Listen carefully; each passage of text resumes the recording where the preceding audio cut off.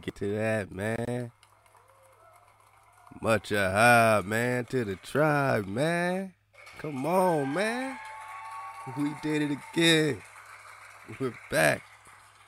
We said we wouldn't be back. Said we wouldn't be here, but we back, man. We back, man.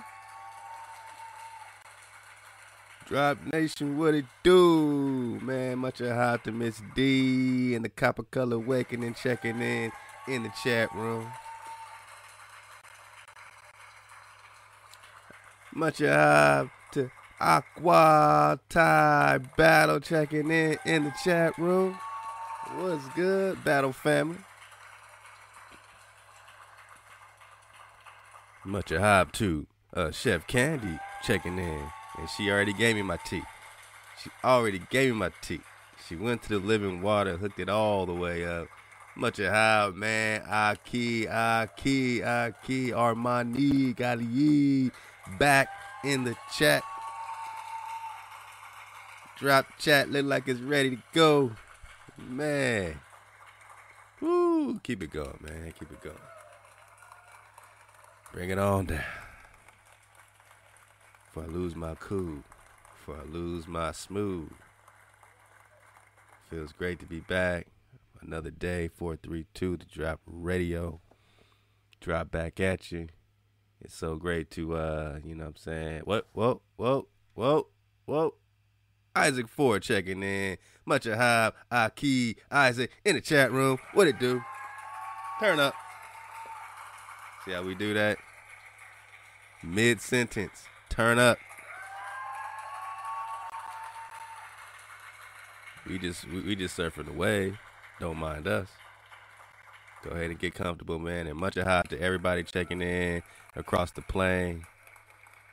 Yeah, I mean, it's dope to see our listener count rising and rising, and just knowing that the vibration is spreading, man, all across the plane. We doing it in real time. Shabata, driving up, man, getting that drop. You know what I'm saying? One by one, we disconnecting somebody from their uh, normal activities uh, for this little interruption. You came here for an interruption. Why do we need an interruption, man? Cause we got to get out the mind of a hijack. If we don't get interrupted, we'll fall back to sleep, back into the mind of hijack. Sometimes we got to lose sleep. And I got family on the East Coast, literally losing sleep. And I, I don't, I don't condone, you know, uh, uh, get get your sleep, my family. But if you're finding a way, if you're finding a way, much a how, cause you're finding a way, you know. We're all finding a way. And uh, I gotta, I gotta send out an apology. Uh, uh, Shalaki family. Um, yeah, uh, I, I I simply forgot to press archive uh, last show, so uh, it was a good show. I mean, you kind of had to be there because we don't have any recordation of it whatsoever. So uh, it only existed in our minds. That's pretty much what I'm trying to say.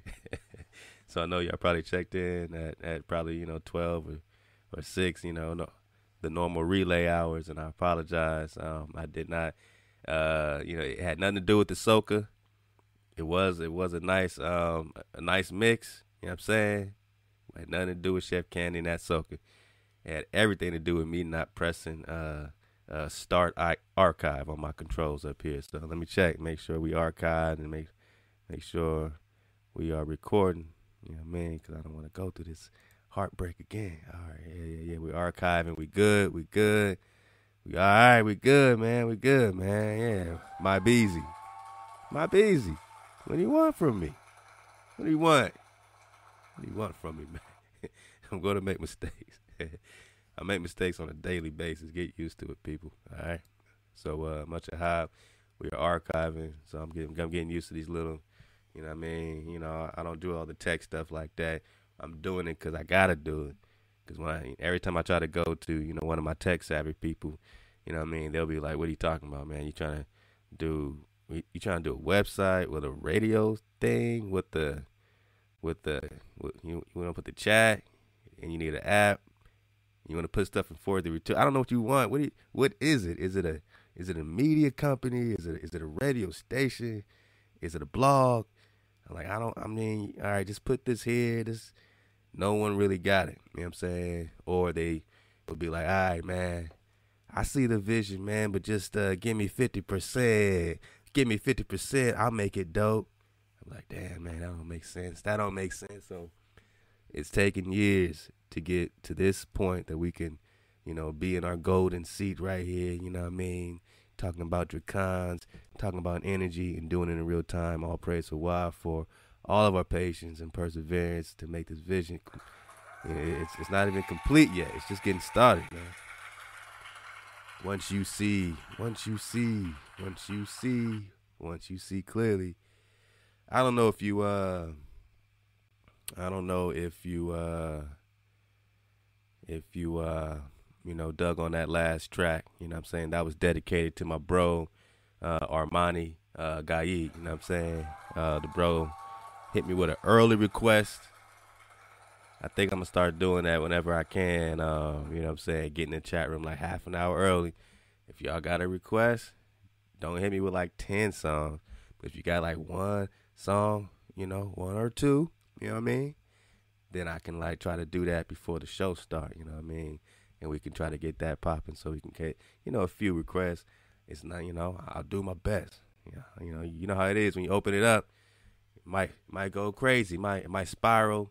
I might have like a hundred songs next time I look on here, man. So I'm just saying, I'm hooking y'all up, man, because you know what I'm saying. I want y'all to, I want y'all to vibrate. I want you to, I want you to hear what you hear. I want you to actually think about it. Be like, man, what, what song do I want today? You know what I mean? So, you know, we can manage it now. We can do it. You know what I mean? Next time y'all come in, just you know, drop me a little song in here so I know what's up.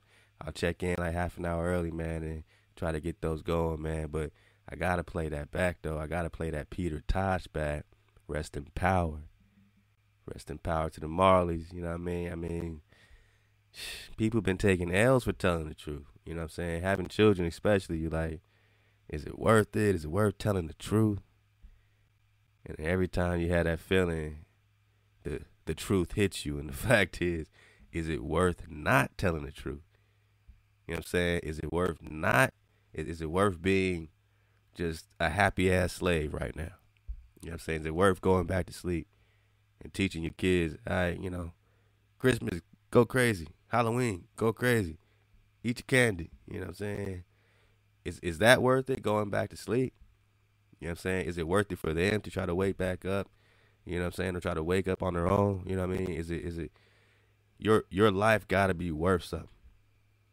You know I'm saying? Your stretch here has to be worth something. You gotta leave a mark, man. I don't care if it's long or short, man. Whatever your design is, we gotta leave a mark. And Most High really put it in us, man. You know, right here, especially my fam in the chat, man. I know we all here to leave a mark. And uh, we know that we are the mark, the sign, the cross, fire, water, ether, and our mama. We were just talking that.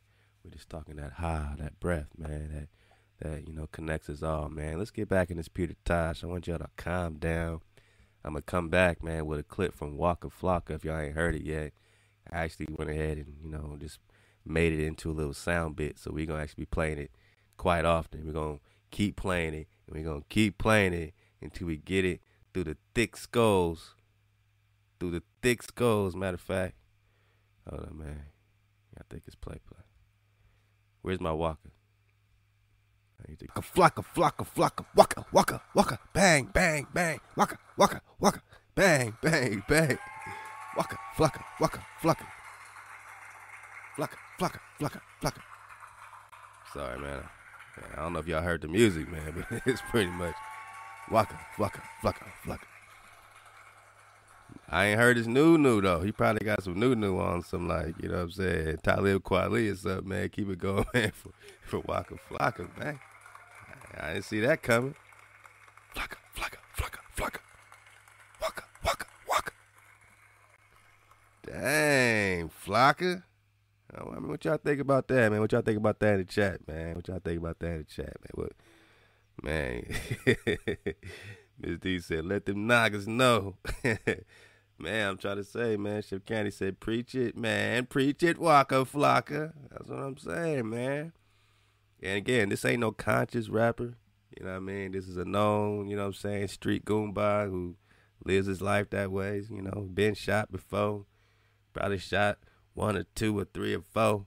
You know, um, you know, but he's like, this is what happens, man, when that energy that goes towards that street shit starts getting, you know what I'm saying, focused, starts focusing. All that energy, you already see that cat's ready to, you know what I'm saying, you know, pick up a bazooka for this shit, man, for this tribal shit. The tribal shit, man. That's that's that's I don't care what you call this gang or that gang or this gang. It's all tribes, tribes, tribes, but they're just misled because no one ain't got no big homies. Truly, you know what I mean, that have unpeeled those layers. You know what I mean. They're just on on that same rotation. You know what I mean. And it's it's not they fault. You're just talking about the result. You're just looking at the result of the tribes. They're still tribal. This is the result. It's not their fault. You know what I'm saying? Right now, it's not it's not about blaming shit. It's about look, man, let's let me pull your coat right quick. So you know what I'm saying? When Walker was doing that, when Flock is doing that, he's just pulling the coat. He's still giving love to the homies and all that. He ain't trying to take nothing away from him, trying to be too big with it. He just saying, look, man, just don't call me black. And what boat you talking about? You know what I'm saying? He might not got all the drop, might not be surfing all the wave. But damn it, that's a huge step. Because see, once it's the indigenous truth and once you know that they found you here, then you start looking for the trails. Then you get hot on the trails of your priest king here. Then you get hot on the trails of this whole Genghis Khan si- situation. And I wish we archived that show. If you got that show last night, man, we went in on this Mongol situation. We got into uh, the medieval history of the uh, Israelites. Uh, Miss D and the Copper Color Awakening dropped a wonderful book. Uh, I appreciate your email. Aquath, I appreciate your email. I don't always have time to respond, but I will definitely at least get those links and drop it on the site, man, because a lot of times I might have like 10 minutes. I'll sit down, like, okay, cool, here's some links. Let me put as many of them on the site as I can when I can. So I appreciate y'all for, for the patience and the energy to keep Drop Nation informed with these great links, these books, and I got them. And we're gonna get through at least a couple of them today. And again, this is an everyday thing, so we don't have to try to cover everything in one night. You know what I'm saying? It's a matter of knowing that we, you know, we can count down, we can flow somewhere, we can enjoy some music, put our, you know, favorite music, our own, you know, playlist together. Pretty soon we'll have pretty much our own, you know, playlist full of, you know, because I don't know every song in the world. I don't, I don't know what you like. You know what I'm saying? I just know what I like you know. And Isaac know what he like, but he's getting some great requests as well, man. And again, hit up Isaac, Isaac at four three two thedrop.com. The bro is real time, and really remember when the bro uh, put up that Kendrick for us, man, and then and then it got banned. It's the only album. I mean, Isaac would tell you, man, it's the only album out of dozens of albums the bro tuned up that got banned from the Podsnack application that we use. Uh, so it was like, damn. I mean, damn. Literally, the the album's called Damn, and uh, that shit got taken down, man. So I said, Isaac, all right, th- this time we could put it up, but we just won't like. Last time it was like, yo, go check out Kendrick Lamar album four three two. That was kind of crazy. So now we know, you know what I'm saying? We got to be on the slunder. We got to be on the we got to be on the slide slunders. But we did put it back up though. We did get it back up. Isaac Ford tuned us back because Kendrick was dropping some severe drop. That's why they was taking us down. Yeah, you know I mean heavyweight stuff, man, and you know I, I, don't know, I don't know the full the fullness. You know what I'm saying? We are gonna kind of have a little uh, Kendrick Lamar listening party tonight, man. We're gonna kind of turn up to that. Hope you enjoy. it, You know what I'm saying? Hope you enjoy. Isaac did some great work. I just want to flow with it because, as you know, like each song is named, you know, either love, fear, you know, DNA, blood. Like, you know, it was just pretty much one word straight straight to the cuff. So I appreciate the way he was kind of hitting the gut bone with that very creatively. And we're gonna, you know, back that up Um, we'll play that Waka Flocka clip again before we get out of here. You know what I'm saying? And that we'll be playing on the regular rotation. You know what I'm saying? 24 7 on the drop radio, man. Please believe that, man. So I'm just feeling good, man. I'm, I'm, I'm enjoying being tribal with y'all. I'm enjoying this frequency. And yeah, you know, when you start telling the truth, you become wanted. But who wants you more? These haters, these hijacks, do they want you more than Hawa? Yo, man, let's keep it going for Hawa. Hawa. Hawa. Do they want you more than Hawa, man? Do they want you more than Hawa, man? So if you want it, you better know, man. You only want it by one. Go. Three, two to drop radio. Let go. Much hype to the chat room going crazy. So far, so good. So far, so good, my people. I know y'all been, uh, that was a cool little, hey, look, man, this is y'all request. Y'all doing this. Don't like I'm doing something, doing something crazy here, man. This is y'all request. You know what I'm saying? Y'all dropping it. It's inspiring me to get busy, to get active. Waka Flock is getting active. He's getting busy. Let's get to these comments. All my people leaving comments, getting busy in real time. Much of hive. You've been leaving comments. You know what I'm saying? On, on Twitter, on Instagram, man. You've been on YouTube leaving comments. You've been emailing me. Music at 432thedrop.com, leaving comments, man. Um, you know, that's the best part of my day, man. It's just really seeing what the flow is, what the wave is, staying hijack free, and how many folks, um, you know what I mean, is, is willing to be hijack free. You know what I'm saying? Like, we're at a point, man, with Trump being president and, and everything looking crazy. You know what I'm saying? you got volcanoes and tornadoes and all kinds of stuff. And you need to anchor in something. You just don't want to anchor in the wrong thing. And a lot of it is fear. You know what I mean? I'm gonna play this joint, man. Again, man, we're gonna do a, a Kendrick Lamar listening party tonight, man. Much a hype to Isaac for tuning us up, man. I'm real excited about this, if you can't tell. I'm just, you know, I'm just excited, man. I'm just excited, you know, that we can have a conversation that's a little bit rare. You know, might be rare in some circles. You know, the stuff we talk about might turn people's head in the so-called real world, but you know, we know that that's the matrix, right? So when we come together, we could talk dragons, we could talk, you know what I'm saying, uh, Mazaka and, and, and Mongols being Russians and different things. Last night we broke it down so beautifully, man. We went through all kind of different, you know what I'm saying, books and things and you know the the one that we was in, the medieval histories of the Israelite Empire, you know, was literally, you know, using that Anatoly Fomenko, that chronology, breaking it all the way down, man, that what what what what they consider Russians or Russians were the actual Mongols. Mongols didn't the Mongols didn't invade Russia. The Mongols were the Russians and the Mongols were the Rus or the Ross. You know what I'm saying? The Mongols were the Negro, the copper colored Negro.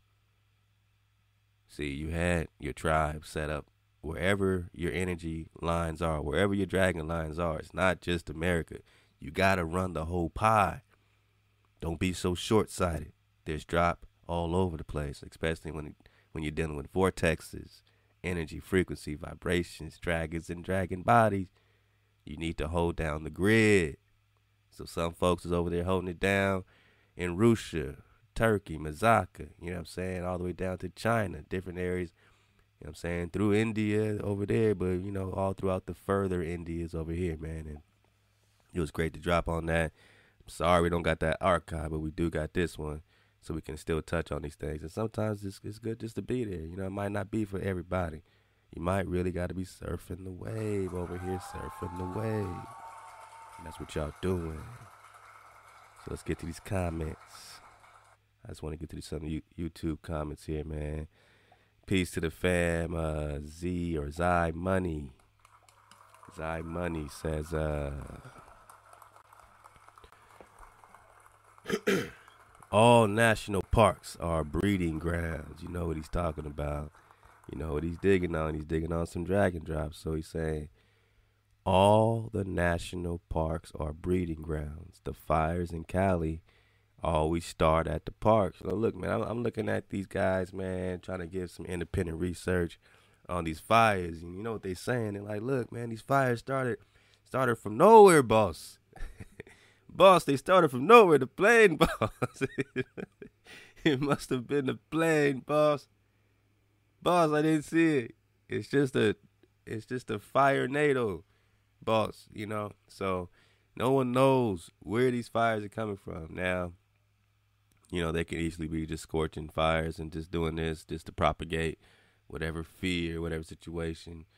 Uh, but there's no confirmation of where and how because you know there's the elements for wildfires. You know, it's just not even at that particular you know peak. You know what I mean? To it's, it's just literally coming out of nowhere against all odds. There's just major fire. Whether or not your dragons are doing that, I just want you to use that as an example of what a couple dragons can do. So when I say, what if every Naga has a dragon? I need you to comprehend what that means.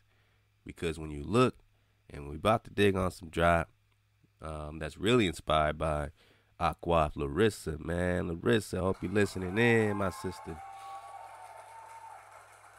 Uh, who who dropped uh email a while back and like I said, I you know, be patient with me. Sometimes I'll get it later, you know what I mean? I'll come back to it or whatever the case is if I miss it.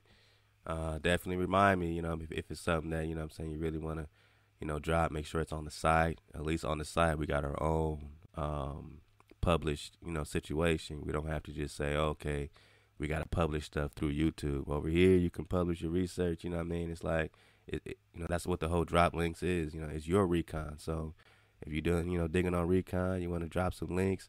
We call them drop links. You got your category, so it's your published research. You know, you know, I'm saying there's a link to it. No matter where you are across the plane, you can link to it on 432 the job as long as you got the internet, as long as they didn't jam us up. You know what I'm saying? You can get your links, you can get your videos, man. So we're growing, man. We're over here working, man, in real time, and it feels good. Yeah, man. All right. So millions of dragons, millions of knockers. What, what does that? What does that look like? It probably looks like hell to these people. It probably looks like the worst case scenario to these folks. You know what I'm saying? But the truth sounds stranger than fiction. So when the bro Z Money is saying, look, man, I think all national parks are breeding grounds. Think about that. How many national parks? How many federal reserves?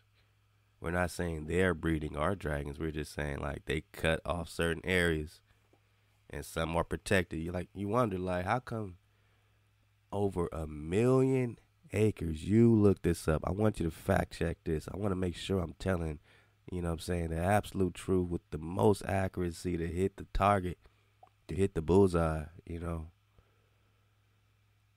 Over a million acres of the Grand Canyon has not even been excavated or touched in any close range. I mean, they're talking about going to another planet.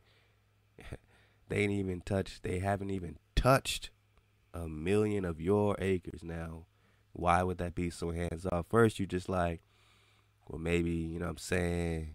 Whoever their their their master is is letting them know that's a hands off. That's a hands off territory. Maybe they're they are excavating and they ain't just ain't saying shit, or maybe there's dragons. I don't know. Maybe they're just like, you know what, this area here we ain't even gonna go close to and it's a million acres. I'm just talking about the four corners. All right, so keep that in mind. Let's go to go on the site, man. Go on the site. Go on the homepage. I dropped it uh earlier today. It's in the uh it's called Photo Drop Acadia National Dragon Reserve. Federal parks are dragon breeding grounds. Dropped by Aqua Larissa Freeman, Aqua, Larissa, what it do?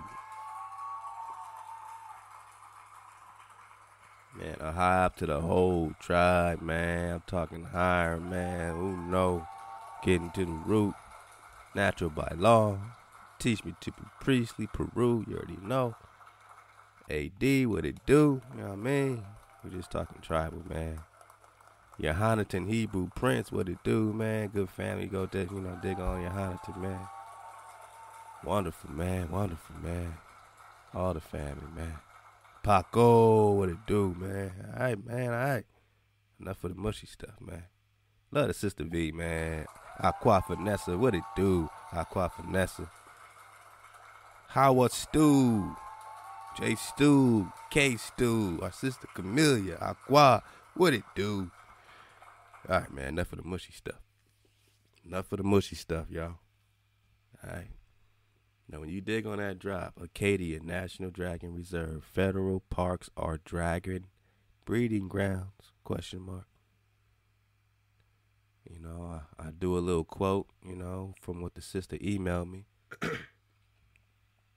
she said this is a pic from for Arcadia National Park. All right, so we got this pic from Arcadia National Park.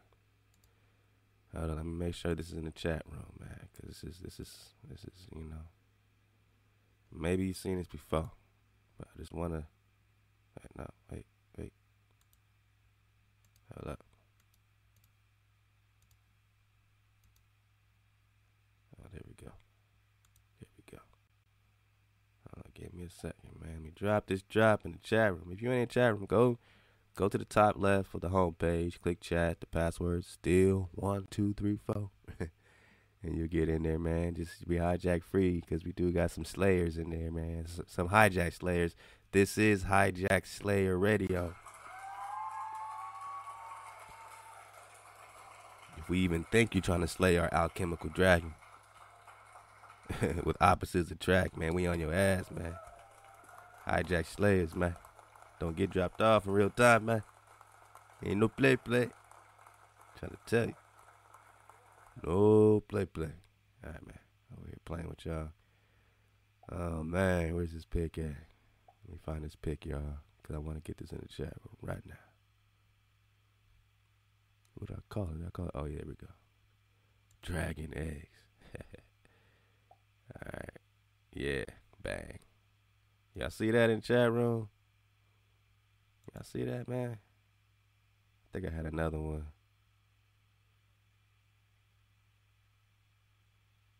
I had another one. So oh, this is kind of interesting too. This is this. Uh, looks like a dragon on this coin. Let me know if this is a dragon or eagle, man. Looks like a dragon on this coin, man. I'm gonna drop one more, man. Get in the chat room, or else you ain't getting the drop. Just trying to tell you. This is our little place, our little secluded alcove, man. Federal parks. Yeah, all right, so this is. All right, so you, if you're in the chat room, look at all the red area of that map. All right, that's the federal parks on the west coast. you dig it, Dale? You see the discrepancy of the dragons from the west and the east? Okay, let's get back to my sister's uh, drop. Man, chat room is popping, man. Much a high, man. Much a high. If you in the chat room getting that drop, you gonna get you gonna get a hive all day. I got nothing but a hive for you. You gonna get this all day long. So you came here for this, man. Now let, let yo yo yo yo yo yo. Now it says pick for Acadia National Park are very interesting are those eggs. The last link mentions this area is a dragon preserve. Now keep that in mind because the sister dropped us a wonderful book. She says, Drop, you're going to go crazy. And I have been going crazy. It's this book called Encyclopedia of Beasts and Monsters or something like that, man. We about to get it though. Actually, actually, nah, nah. She dropped that. She dropped that. The one we're gonna get today is actually called Dracopedia. All right, so she dropped the encyclopedia of Beast and Monsters. So when you go to the site, click on Book Drop in the categories, you'll get the drop of the books, even if they're not in the library yet. Cause I ain't got to it yet. I got like 50 books to put in there, so I'm gonna do that this week. But you can still get the updated books by just clicking the book drop. You know what I mean? Sometimes you got to go the extra mile for the drop, but we still got it on the site. All right, so uh, Dracopedia The Great Dragons, an artist field guide and drawing journal written by William O'Connor. And it's going to break down all the drop. Now, I dropped this in the chat room already. You know what I mean? So it's like one of the first drops from today that's in the chat room. What I'm going to do to make it easy, I'm going to drop it again right here. I'm going to drop it again. Bang. That's how easy this is, man. You know what I mean? This is a beautiful thing, man. Much ado, Hawa, Hawa for making it so easy.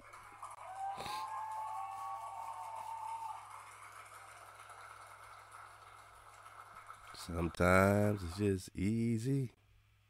Hold up, man. Hold up, man. Shalom, shalom, shalom.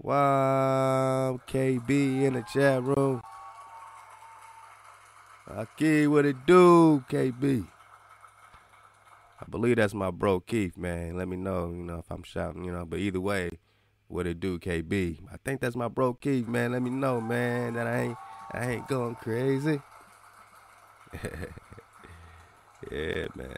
Yo, man, we got it popping, man. So got the drop, pull that on up. Man, much hive to this Sister Larissa, I'm trying to tell you, man. Sister Larissa, I'm trying to tell you. Body bags and uppercuts. Body bag and uppercuts. Let's go. Let's go back to what the sister is saying. She says, This is a pic for the Arcadia National Park. Very interesting. Are those dragon eggs? I think there's spherical rocks all over the place. All right. Either you surf the wave that these are spherical rocks all over the place. That's your prerogative. Can't nobody take that away from you. You know what I'm saying? I ain't here to snatch away your ball. I, I'm gonna surf the wave that these things are ready to hatch. You know what I mean? This is just a sign of the time. All right? You got all kind of signs of the time. You got the waters receding.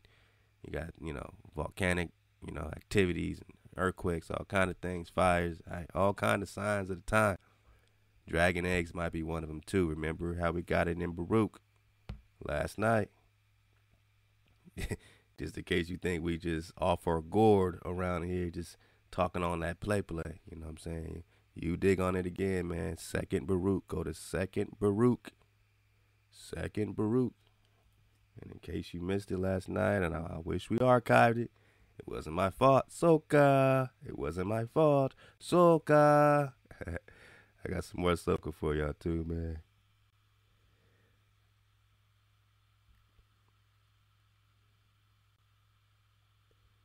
Oh, okay. Yeah, my, my sister Ty said it's not Keith, it's uh it's Karen, Karen battle. Um, you know, peace, peace and power, peace and power. Aqua, Aqua, Aqua, Karen, KB.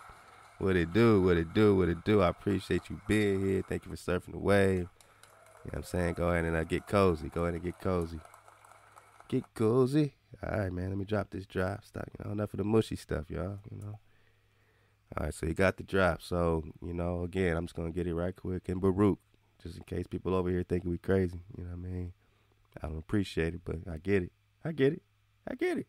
If I just came, you know, from around the corner, someone start talking about dragon eggs on the beach, I'll be like, yeah, man, you been smoking that dragon egg.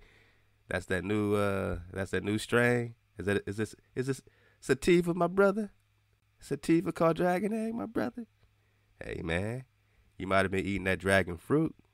You might have been eating that dragon fruit. What's up with that dragon fruit, man? Y'all, y'all uh, hear anything? You know, I mean, I know it's supposed to be good. I know it's supposed to be good for you. You know what I mean? You think it's related to dragon? You know, why is it called dragon fruit? Is it like some type of mythical thing? We got to start digging on some stuff like that, man, because we do need to get the health drop from time to time. Now go down, Second Baruch, chapter 73.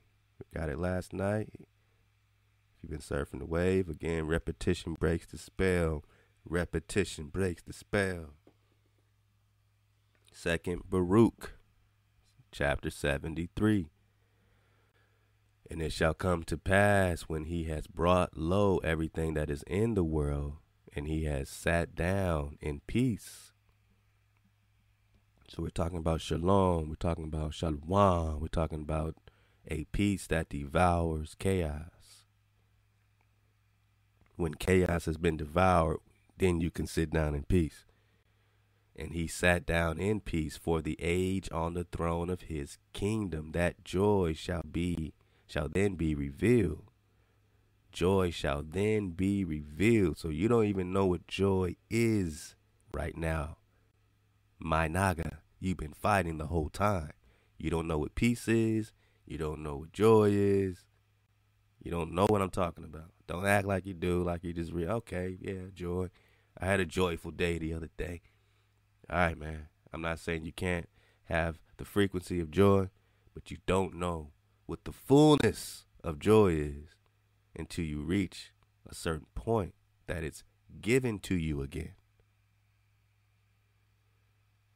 And he sat down in peace for the age on the throne of his kingdom, that joy shall be revealed and rest shall appear. You don't know what rest is. You don't know what joy is. You don't know what peace is. Stop playing. No play play. We trying. We trying. We are resilient. We get it in spurts and sparks. I mean, we got some right now, right? We got some joy popping off right now. I mean, I feel good. You feel good. I feel good. But look what we had to do to get here, man. Look what we had to do to get this, man. So we earned this joy, and Most High is giving us, you know I'm saying, especially us, He's giving us, you know, a, a good revelation of it.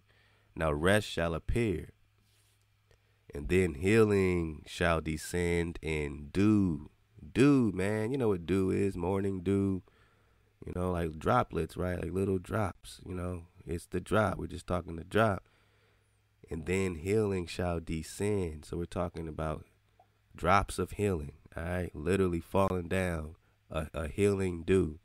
You could put it in context, you could put it in reference with the living water, you could put it in context with the fountain of youth when you surfing the wave of this priest king and your living water, and the priest king that bathed in this water over and over again, probably a, a, a dozen and a dozen or two times by now so we're talking about living water. We're talking about dew. We're talking about the drop.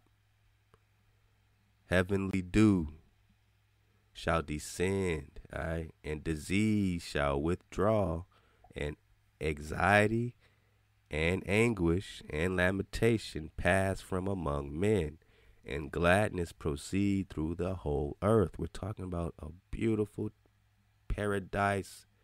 You know what I'm saying? This is this is this is everything we want. So the Most High here in Second Baruch chapter 73 is painting a picture, giving us a foundation of everything we want. Peace, joy, rest, healing. Disease shall withdraw, we're hijacked free.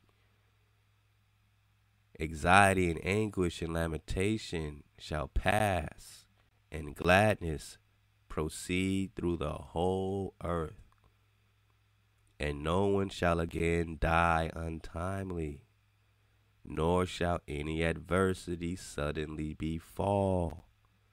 Any judgments and abusive talk and contentions and revenges and blood and passions and envy and hatred and whatsoever things are like these shall go into condemnation when they are removed for it is these very things which have filled this world with evil. And on account of these, the life of man has been greatly troubled. And get it right here. Listen up. Listen up. This is Naga time. Listen up. And wild beasts shall come from the forest and minister unto men. What wild beasts? Are they really wild beasts? You know, we got to get out the mind of a hijack. If they're ministering unto men in the paradise time, if in paradise these so called wild beasts are coming out of the forest, out of their hiding places, to minister, to give a message from Hawa, Hawa, are they wild beasts? Or are we talking, you know I'm saying, some le- level of an angelic presence, man? Remember, when they talk angels and they try to paint angels with wings, those angels are really your guardian dragons. And it seems like they took these guardian dragon and turned it into a white man with the same dragon wings. And then you're like, some people just flying around with wings? That never quite made sense, right? So either you believe that people are flying around with wings, you know what I'm saying, or you believe in a dragon. because you believed in a dinosaur the whole time, just put a, put wings on it. Remember we got the Draco Rex. The Draco Rex is an actual genus or species of dinosaur called Draco Rex. And when you look into uh, this document we just dropped in the chat room, the di- Dinopedia, you know what I'm saying, or the uh, Dragonpedia, you actually have a Draco Rex. You could look at it's right in the beginning, the Arcadia, Arcadian dragon. It's a Draco Rexus. So you telling me there's an actual dragon called a Draco Rexus in this hard to find dragon book that Sister Larissa pulled up. And there's also an actual dinosaur species called Draco Rex. So what's the difference between these dinosaur fossil bones of this Draco Rex and this actual Draco Rex's dragon? It's a cover up.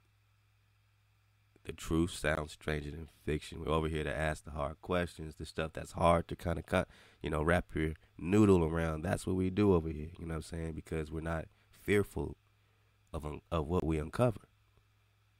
We know, we know our Creator exists. So a- after that, it's just like, what? How does it all come together? Then we know our Creator exists. We know our breath is secure. So how does it all come together at this point? So again, the sister, our Aqua Larissa is saying, here's this pic of the Arcadia or Acadia National Park. Very interesting. Are these are those eggs? Dragon eggs? Oh wait, let me finish this verse right quick, so it all ties together. Go back to Baruch, Second Baruch seventy three, verse six. And wild beasts shall come from the forest, from the forest and minister unto men. All right. And asps and dragons. When we look up asps, you're just getting, the you know, serpent, whatever. So, you know, you can say those are the same thing. Asp and dragons shall come forth from their holes to submit themselves to a little child. And it's very important to focus on this little child because, you know, clearly how at least this transa- translation is flowing out the Most High definitely wants you to take away all fear. So if this dragon is submitting to a little child, the clear picture is your children are safe, that they have a bond, that they have a destiny. When you talk dragons and dragon riders, who's riding these dragons? What aerial support are we talking about when we dig on those links?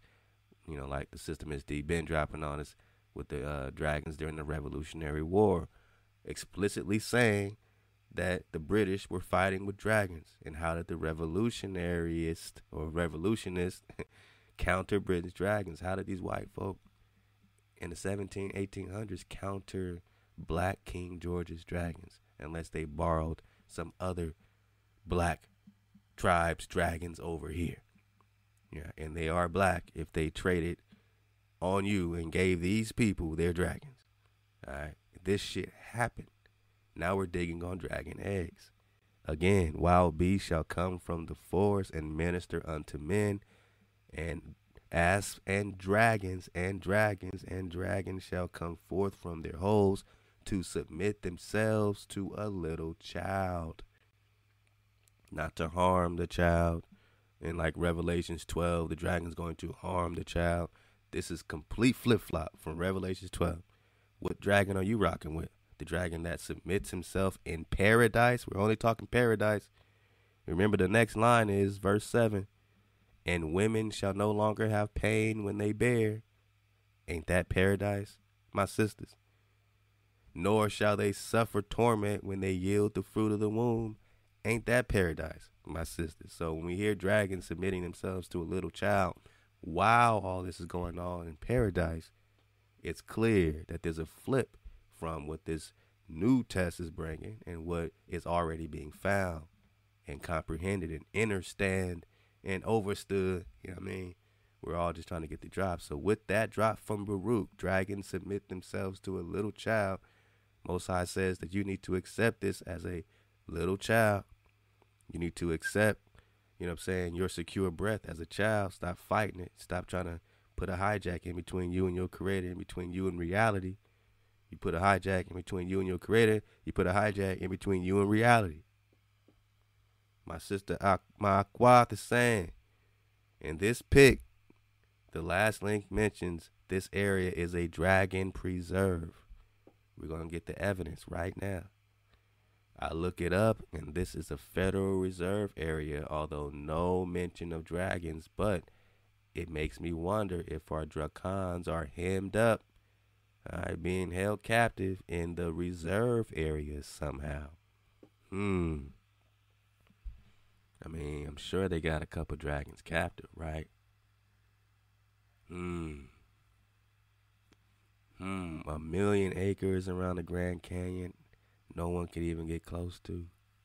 A million, one million acres in the four corners. You can't even get close to. The feds got it locked down, hemmed up. They ain't they they won't even excavate it. Like, I'm cool, but we're gonna hem all this up though.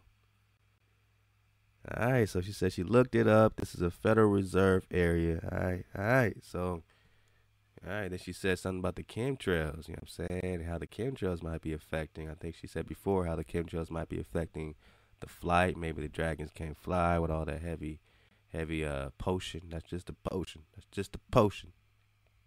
And if you got it in the chat room, it says, if so, the majority of our dragons are in the west because of this map that shows most of the Federal Reserves in the West. I mean, once you once you get into New Mexico, Colorado, Utah, Arizona, heavy. Nevada, heavy. California, heavy. Oregon, Idaho, Wyoming. All right, Montana, Washington, heavy Federal Reserve. Even Alaska got hella Federal Reserve. So let's look at Ac- uh, Acadia. Acadia. So pull that link up, man. I'm looking in Dracopedia, The Great Dragons. All right. By William O'Connor. I'm going to scroll down a couple pages here, get to the. Let's get to the introduction. And I want you to tell me if any of this sounds like this William O'Connor is messing around at all about these dragons. At all.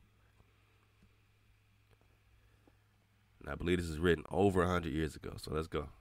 To help me on my journey, I recruited the aid of my faithful apprentice. So this cat's going on a journey. He's, you know, I don't think he's hunting dragons. He might be. You know what I mean? He might be hunting dragons. He might be a slayer, or he might just be an enthusiast that's trying to get information. And I think that's what he's trying to, you know, mainly trying to do is get a whole conclusive, you know, comprehensive situation. So he says, To help me on my journey, I recruited the aid of a faithful apprentice, Conseil de la Cruz, whom I met while he was studying art history at the College of New York. For several years, Conseil has been a great help in my studio in New York. Fluent in English, French, Italian, Conseil will be a priceless resource in my transcontinental journey.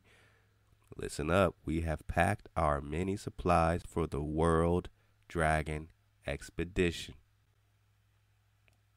We have packed our many supplies for the World Dragon Expedition.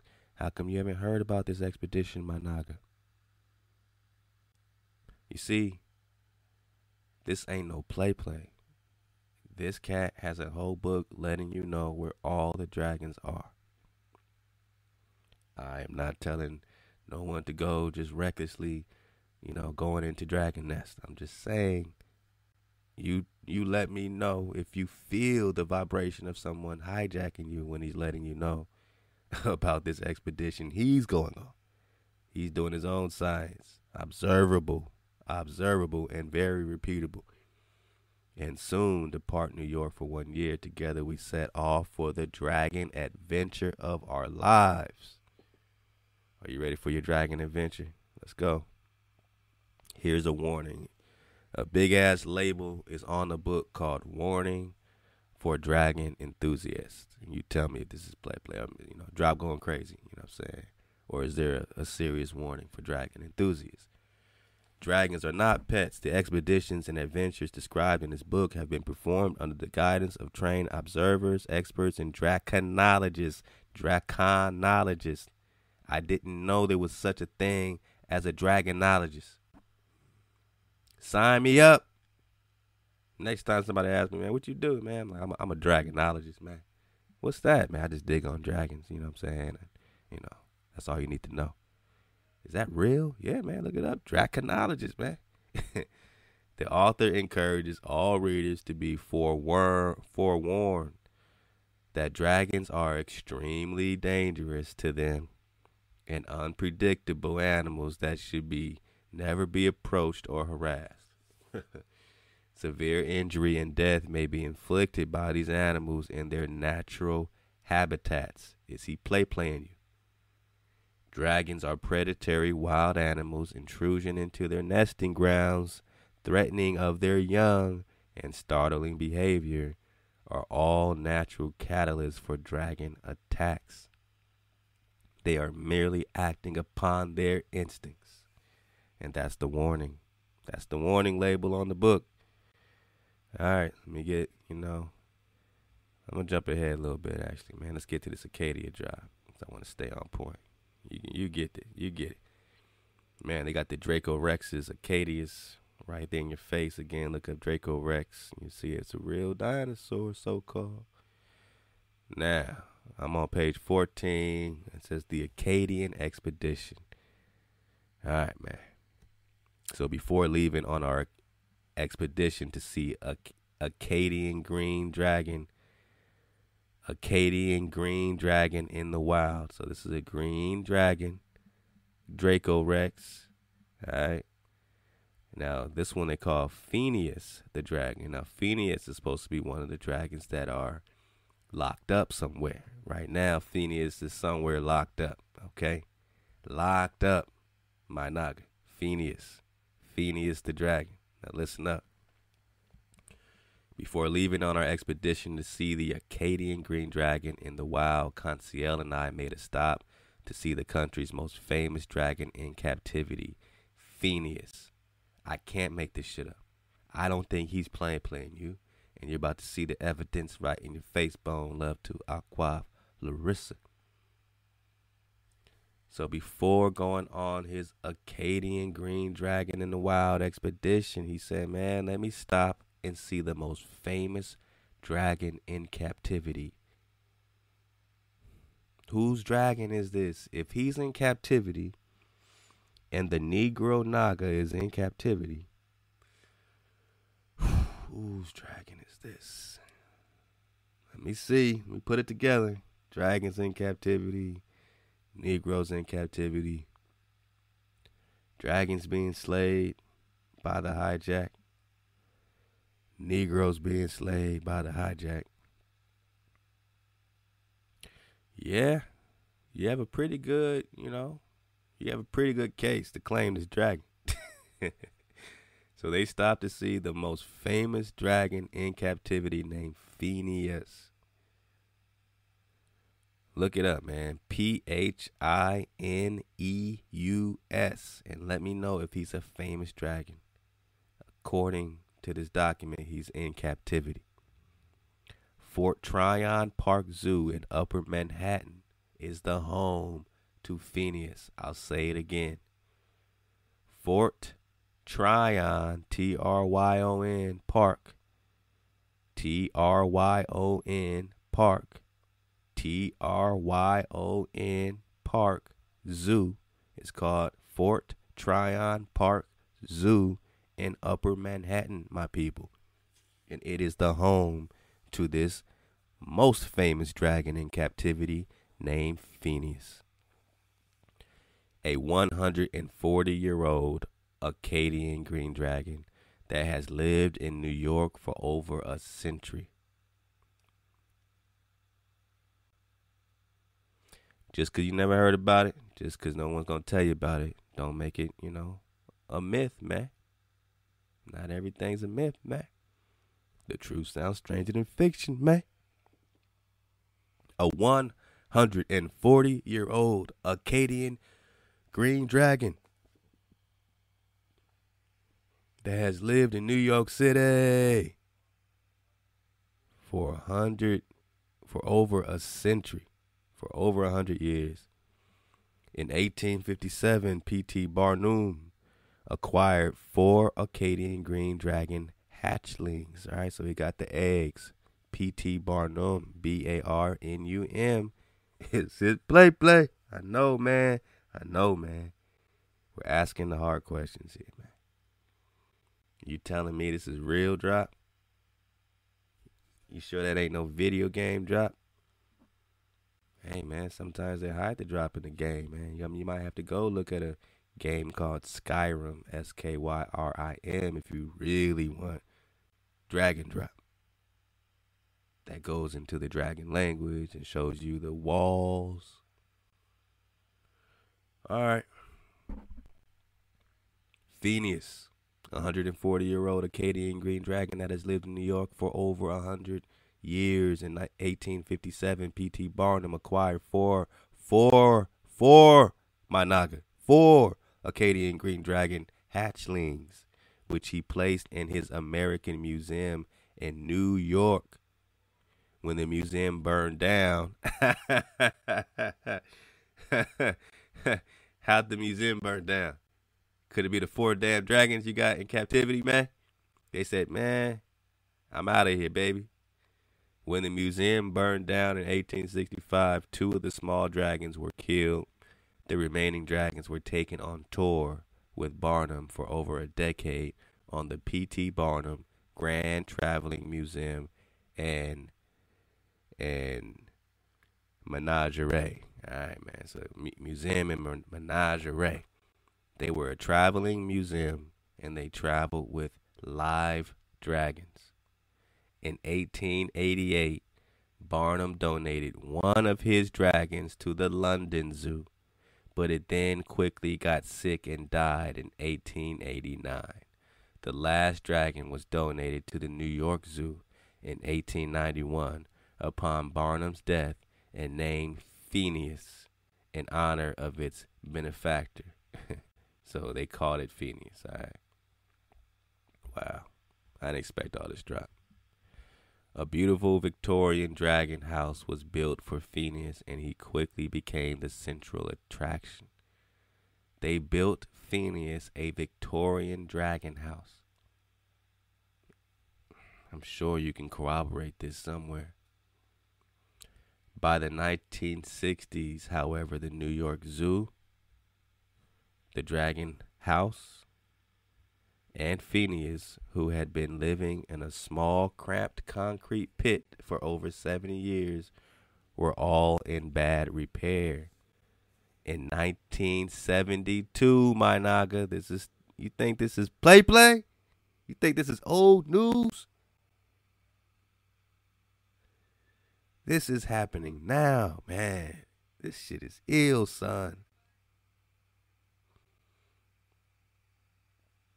In 1972, the newly formed World Dragon Fund. Oh my goodness. Can somebody please look up the World Dragon Fund? I can't make this shit up. The World Dragon Fund, set up in 1972, used Phineas as their poster dragon to raise funds for the protection of dragons. God.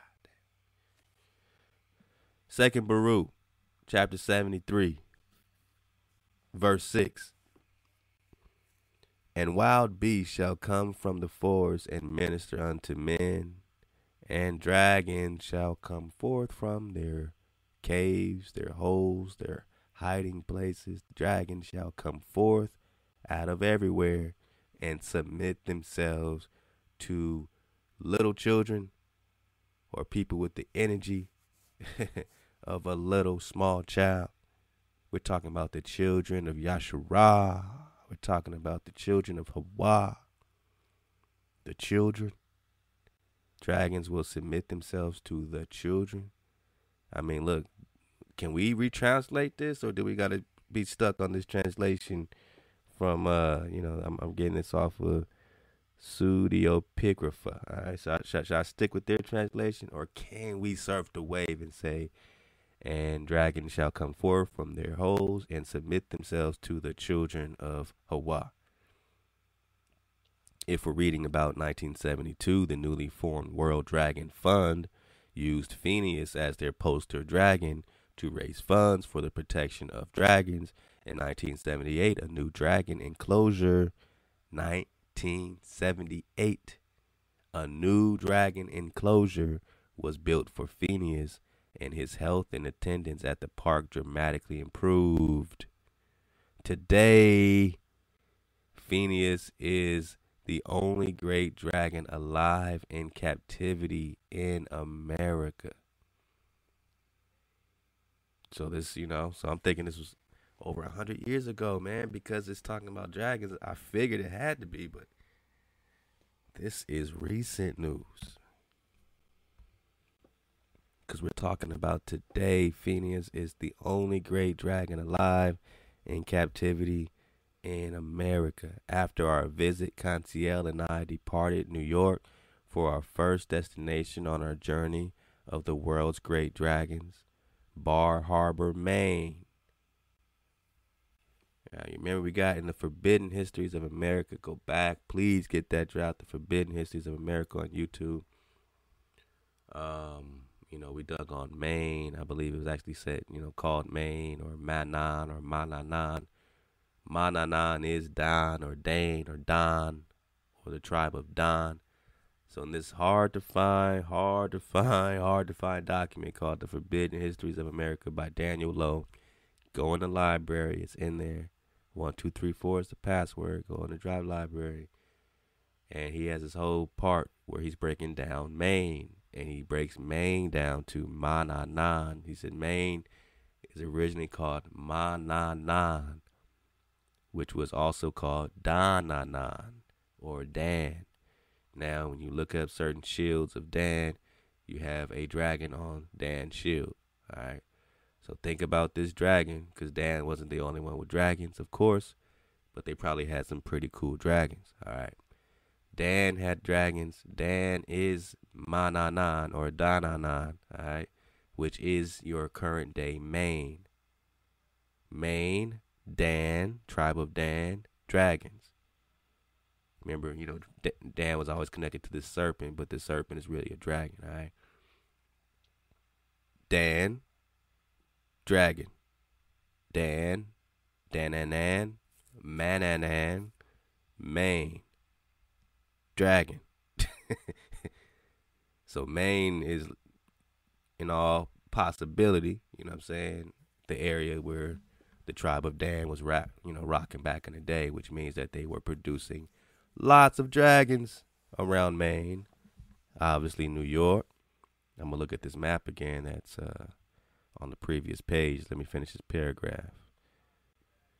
Bar Harbor, Maine. This is home to the Acadian National Dragon Preserve. Now, can one of my family go Google Acadia National Dragon Preserve and see how they changed the name.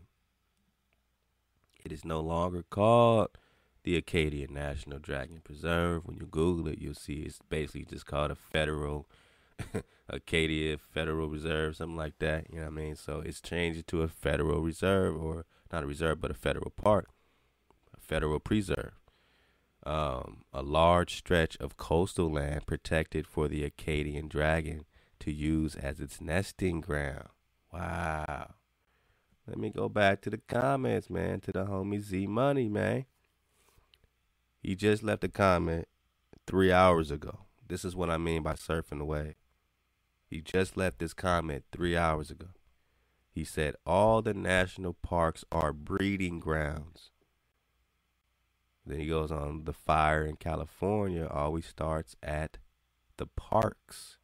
The fires always start at the parks. The fires always start at the parks. So wherever this uh, situation was going on, even in California around, you know, what they call wine country, you know what I'm saying, Napa and all that, I mean, who knows what's over there, man? We're talking about federal preserves and land. Most of your land is being held in check. Remember, Hiram Mark dropped it on us, man. 770 million acres of land is being held. 770 million acres of your land, my naga, my negush, are being held in a government trust right now. It's just being held in a government trust. They don't own it. They're just holding it. Holding it in a trust. For what? For when? Why is Trump going through all this legislation trying to get the lands to the federal land to be back in the state hands? And states want control of the land. The feds want control of the land. You had more power in terms of connecting to this land when the state at least had it, because the state, you know, kind of worked with some folks. The feds is just holding this thing in the headlock. 770 million acres of your land is in a federal trust right now. We're only talking about federal preserves. This is the home for the Acadia National Dragon Preserve, a large stretch of coastal land protected for the Acadian dragon to use as its nesting grounds.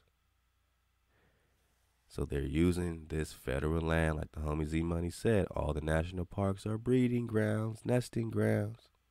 Uh oh. Uh oh. So which way you want to go, boss? Which way you want to go?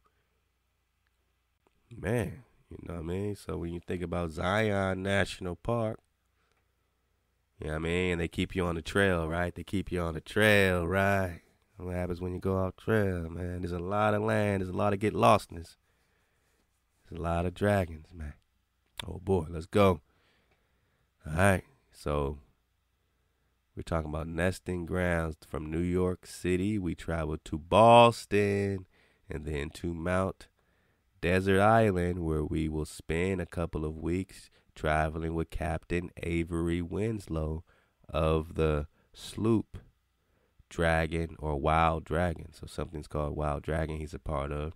He will be our guide while we study and draw the dragons in this region. So this Winslow, you know, pretty much wanted to, you know I'm saying, um, or, you know, these particular explorers, man, you know, just want to kind of get these sketches, and that's what you're going to get in this link and in this book. And again, they called it Acadia National Dragon Preserve. You know, there's a big stamp. There's an actual official stamp of the Acadia National Dragon Preserve from April 13th. It doesn't. I'm looking for a date here. I don't know if it says 1814. I can't really read that. But man, you know, it's right in your face. Acadia National Dragon Preserve. Now, when you go back to the previous page on page 14, you actually see the whole coastline of Maine, New Hampshire, Massachusetts, Connecticut, New York, all the way up to Nova Scotia. And it says historical range, habitat of the Acadian green dragon. So the habitat of this one species of dragon is Connecticut, Massachusetts, New New Hampshire, Maine, all the way up to Nova Scotia, New York. That whole area is where this green Acadian dragon, the most famous being Phineas, who right now, today, is in the uh, was at the New York Park. Where's my homie Phineas being held, man? He's over there at Fort Tryon Park Zoo in Upper Manhattan. If you want to see what's up with Phineas, man, he's up there in Tryon Park Zoo, T R Y O N, Upper Manhattan. He was 140 years old then. I mean, he's probably down there 160 now. And he's supposed to be the last OG, they built him a Victorian dragon house. Man, Phineas is the only great dragon alive in captivity in America. Great dragon. That almost makes me think about that Revelations again, right? Behold, the great red dragon. Hmm. Is it Phineas, man? Which dragon, man? Because they're in captivity, man. They, he's he's coming out to take out all hijacks to devour the the child Jupiter, the child Zeus that's being born out of Virgo, being born out of the celestial hijack, the celestial mother giving birth in the story of Revelations 12. The celestial mother's giving birth. She's being hidden by her God, her dog, her Baal, who's hiding her for a time or two, trying to protect her. This is their celestial hijack in the end times, man. It got nothing to do with above the firmament, above the barrier. You don't have to pay, you know what I'm saying, try to figure out all their moves. Let them move. That's Revelation is for them. They wrote that for them. you just got the trickle down theory of it. You're getting the drop right here. They got a whole nother dragon over there. You got a whole nother dragon right here in Baruch. You know what I'm saying? You got Leviathan being sacrificed and given as meat in Psalm 74. We're getting all this drop about Leviathan, which is Moby Dick. Man, peace and power too. Aquas, man, my Aqua, yeah, man, digging on this drop.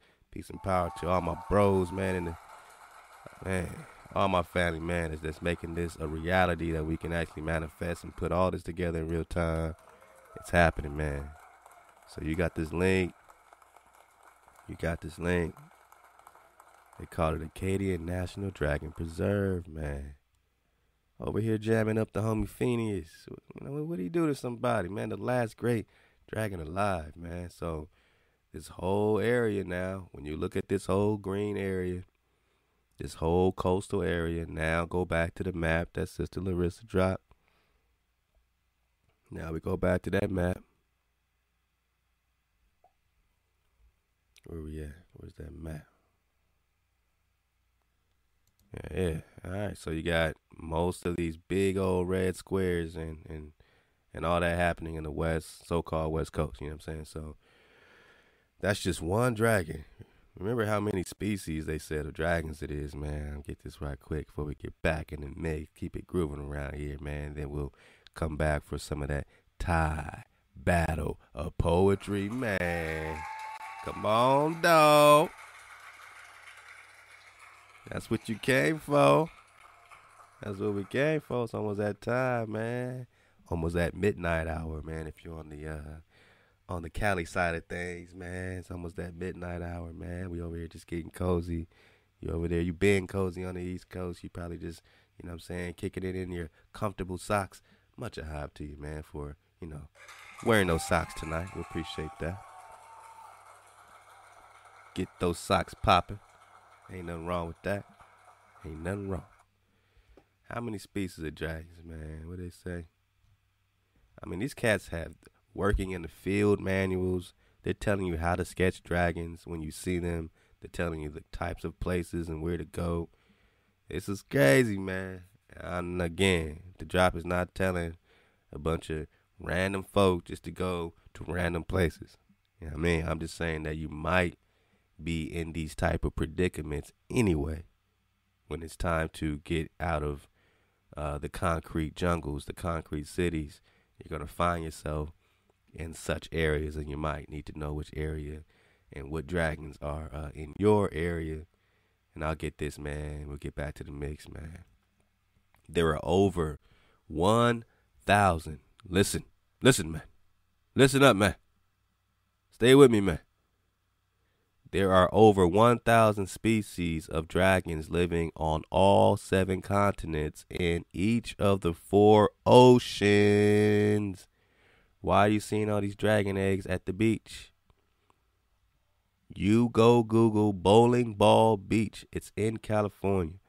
Google Bowling Ball Beach. Already, you know it's going to be a bunch of big ass bowling ball looking rocks, right? But of course, is that a natural phenomenon? Spherical rocks on the beach? when you're seeing that these coastlines are these preserved areas, are these actual nesting grounds or breeding grounds, there are over 1,000 species of dragons. I just broke down the Acadian dragon, and I didn't even break that down.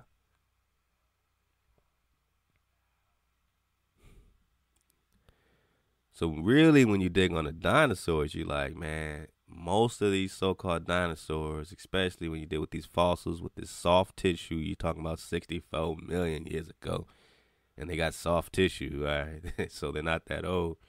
Most of these are dragons. Dragons come in many shapes and forms.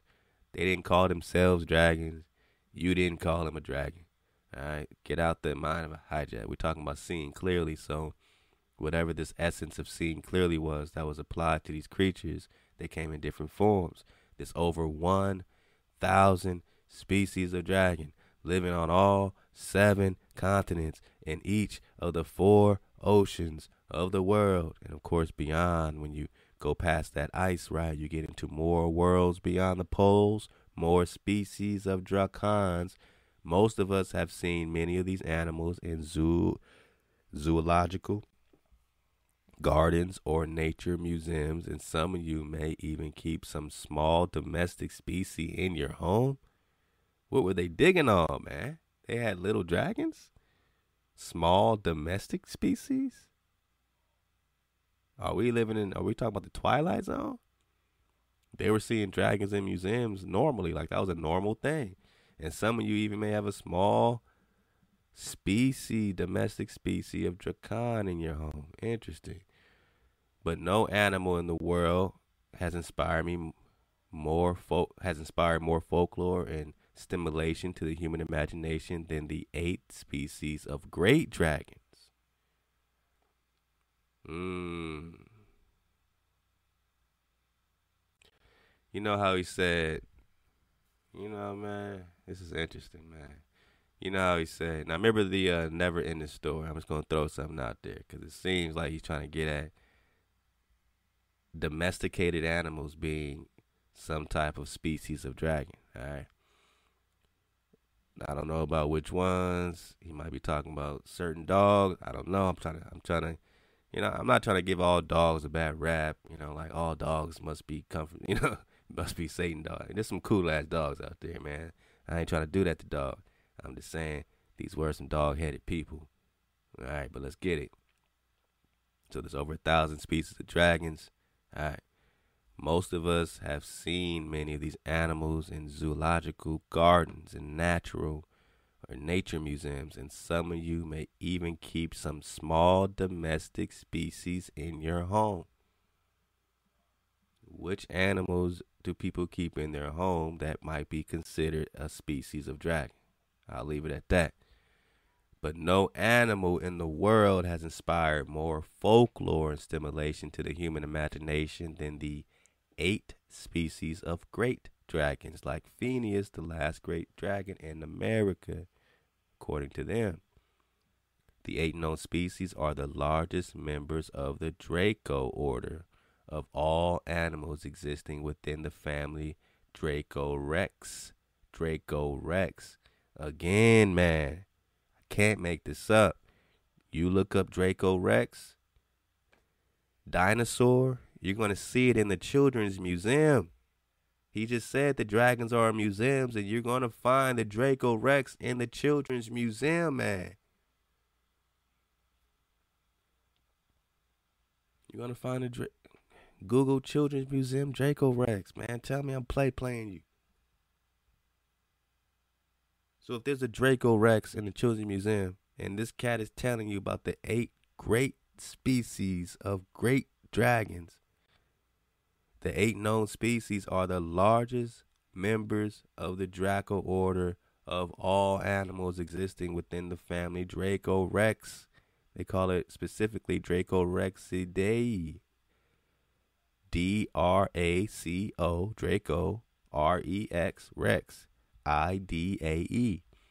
They collectively make up the genus of Dracorexes. When you look up Dracorex in Wikipedia, it's going to say a genus, the same word, a genus of dinosaur. It's not going to tell you it's a genus of a dragon. They're lying and hiding. The truth sounds stranger than fiction. You live in Avatar. You live in what's it called, Pandora? You know, whatever it was called in Avatar. Watch Avatar again. I know you probably seen it a million times. Watch it again, and it's gonna mind blast you. Watch it again. Me and Chef Candy just watched it, man. Mind blasting. Mind blasting.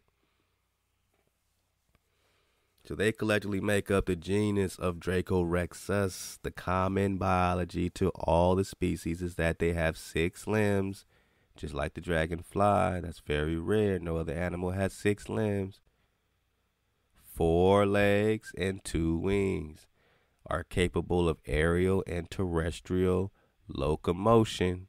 Aerial and terrestrial possess hollow bone structure, lay eggs, eggs, and are capable of breathing fire. In short, they are the fire breathing dragon of legend, except that they are not a myth.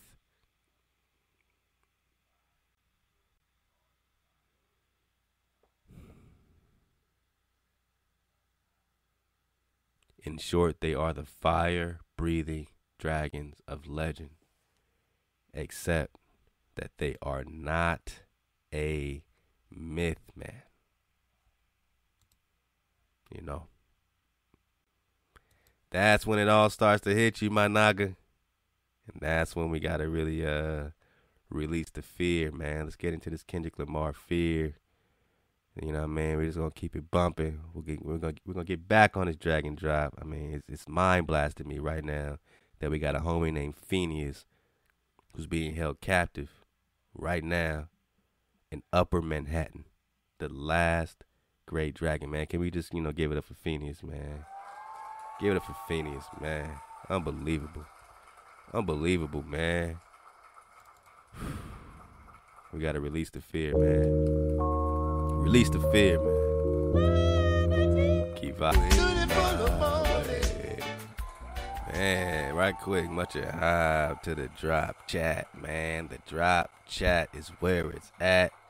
The drop chat is where it's at.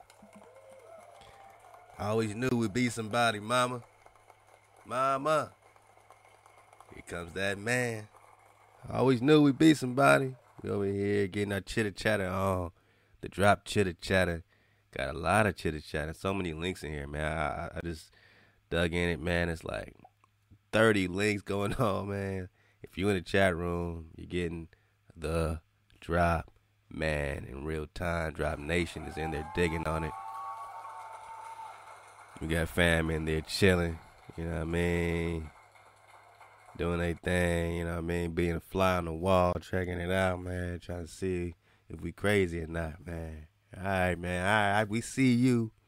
We see you trying to see us. We see you looking at us while we looking at you looking at us.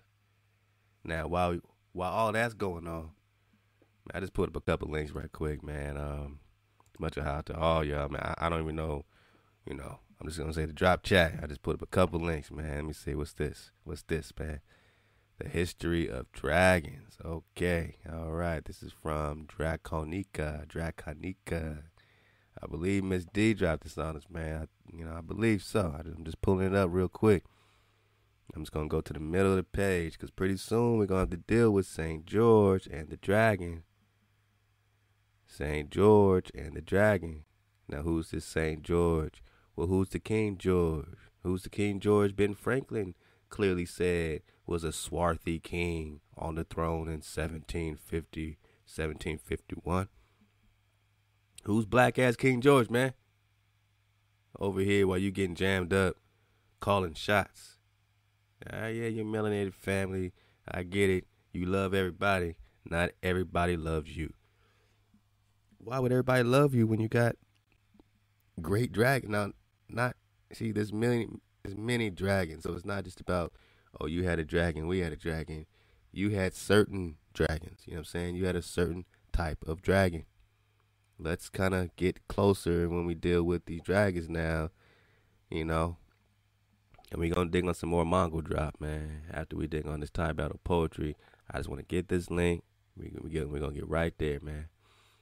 So like, St. George and the Dragon, many other stories have been told about dragons and the heroes who killed them. One story like this comes from Norway. The king left his daughter in the castle while he went away on a long trip. He left her a tiny dragon to be her guardian. Who's your guardian angel? Naga, who's your guardian angel? You always say, Oh, I got a guardian angel over my shoulder bone. The king left her this dragon to be her guardian. The princess was skeptical skeptical of the tiny creatures, fearing it fearing that it could not protect her. However, the dragon soon grew into large into a large monster. He soon became too good of a guardian for the princess when he grew large enough to wrap his body all around the castle. Oh man, you forgot about these dragons that were three to five miles long that we dug on last night and night before. Right out of the Encyclopedia of Beasts and Monsters dropped to us by Aquaf Larissa. We just talking about how you pulled up. How'd you pull up? How did you pull up? How did you pull up on them? How did you pull up? Did you pull up in a boat? Did you pull up in a spaceship? Sometimes, maybe. You know, I can't rule that out. But you damn sure did pull up on these long ass dragons, man. Three to five miles long, some of them were. Five miles long. That's how your tribe pulled up. It ain't nothing. Oh, you across the water? It ain't nothing. We gonna be there. We'll pull up. we talking great dragons now. It was a big deal for them to kill your dragon. And why do we keep talking about dragons, man? Because there's something called an essence, a breath. There's something called a cross, a crossing. There's something called ether and fire and water. And there's only one creature that embodies that other than you, other than the so called Negro found right here in the Americas. These dragons fire, water, air, and land. Nothing else is all for. So are they all for you? Huh? Are they are they hijacks? Are they rogue hijacks fighting against if they're hijacks, why do these hijacks need to kill them in order for them to become knights? See, you're a knight by blood, right? You're a knight based on an oath. A, a knight has an oath. You have an oath. You have a law. You have a frequency. You have a vibration. Law is vibration. So you are a knight. You're a priesthood. You're a Khan. Americans. You're the Khan. When they take away your Khan, what happens? Go watch Avatar and see what they call their priest king. See what they call their chief. They call him the Khan. And then they say, oh, now it's going to be a new Khan. He's going to be the new Khan. They're called Khans in Avatar. I just peeped this a couple days ago. Now the princess was skeptical about this tiny dragon. Then he, he grew big and he wrapped his body all around the castle and, and and not let anyone enter out of it. When the king returned home, even he was not permitted inside the castle. The only thing to do was kill the dragon. So this dragon grew big. He said, "Man, I'm hijack free." He put this whole castle in check. the whole castle got put in captivity as soon as the dragon went dragon. All right. So the king, this King George, decided to slay the dragon. All right. So the king offered his it says offered his the marriage of the daughter to anyone who can kill the dragon. So he offered his daughter to anyone who could slay the dragon. No man, no man in Norway was capable but a man in Sweden finally killed the beast. Oh, I thought I thought King George killed the dragon. Oh man, you know I'm cool. I'm cool on killing this big ass dragon. Um, but I will give my daughter to anyone who can do it. So a man in Sweden finally killed the beast, this dragon, this great dragon. As his reward, he married the princess and they returned to Sweden together. Another story is about a young man who fought a dragon for the reward of bringing the king's daughter to his master for marriage. In this, Tristan is tricked by another man who wants the princess for his own wife. In the end, Tristan cut off the dragon's tongue as proof of his accomplishment, and the lot and the lies of the other man were discovered. During the times of dragons in England, anyone who killed a dragon was awarded knighthood. I'll say it again. So you see the flip flop. So you see the mix and match in the milk in the box. We just milking and boxing, mixing and matching, putting things together. Don't don't mind us. Reading a little Baruch, you know what I mean? So we got this other story, this Tristan, he's tricked. Right. So during the time of the dragons in England, anyone, anybody, it didn't matter if you came from a Khan, it didn't matter if you came out of a priesthood, it doesn't matter if you were a descendant of priests. It doesn't matter if you're a descendant of Adam, of Jacob. It doesn't matter to them because during the time of dragons, which is the time of the Naga, which is the time of the Negro, which is the time of Israel. During the time of the dragons, which is before the papal bull, Dum Diversas 1452, which is during the Khan invasion of this Genghis Khan, who invaded his caretaker. He invaded the man that took him in to take his Khan. Genghis Khan went to war against your priest king, your Khan, and took his Khan because he wouldn't let him priest priest king King David wouldn't let King David wouldn't let Genghis Khan marry his daughter. It was serious business, but this king just gives his daughter away to anybody that can kill a dragon. You telling me Prester John went to war with Genghis Khan because he wouldn't let Genghis Khan marry any of his daughters, according to multiple stories.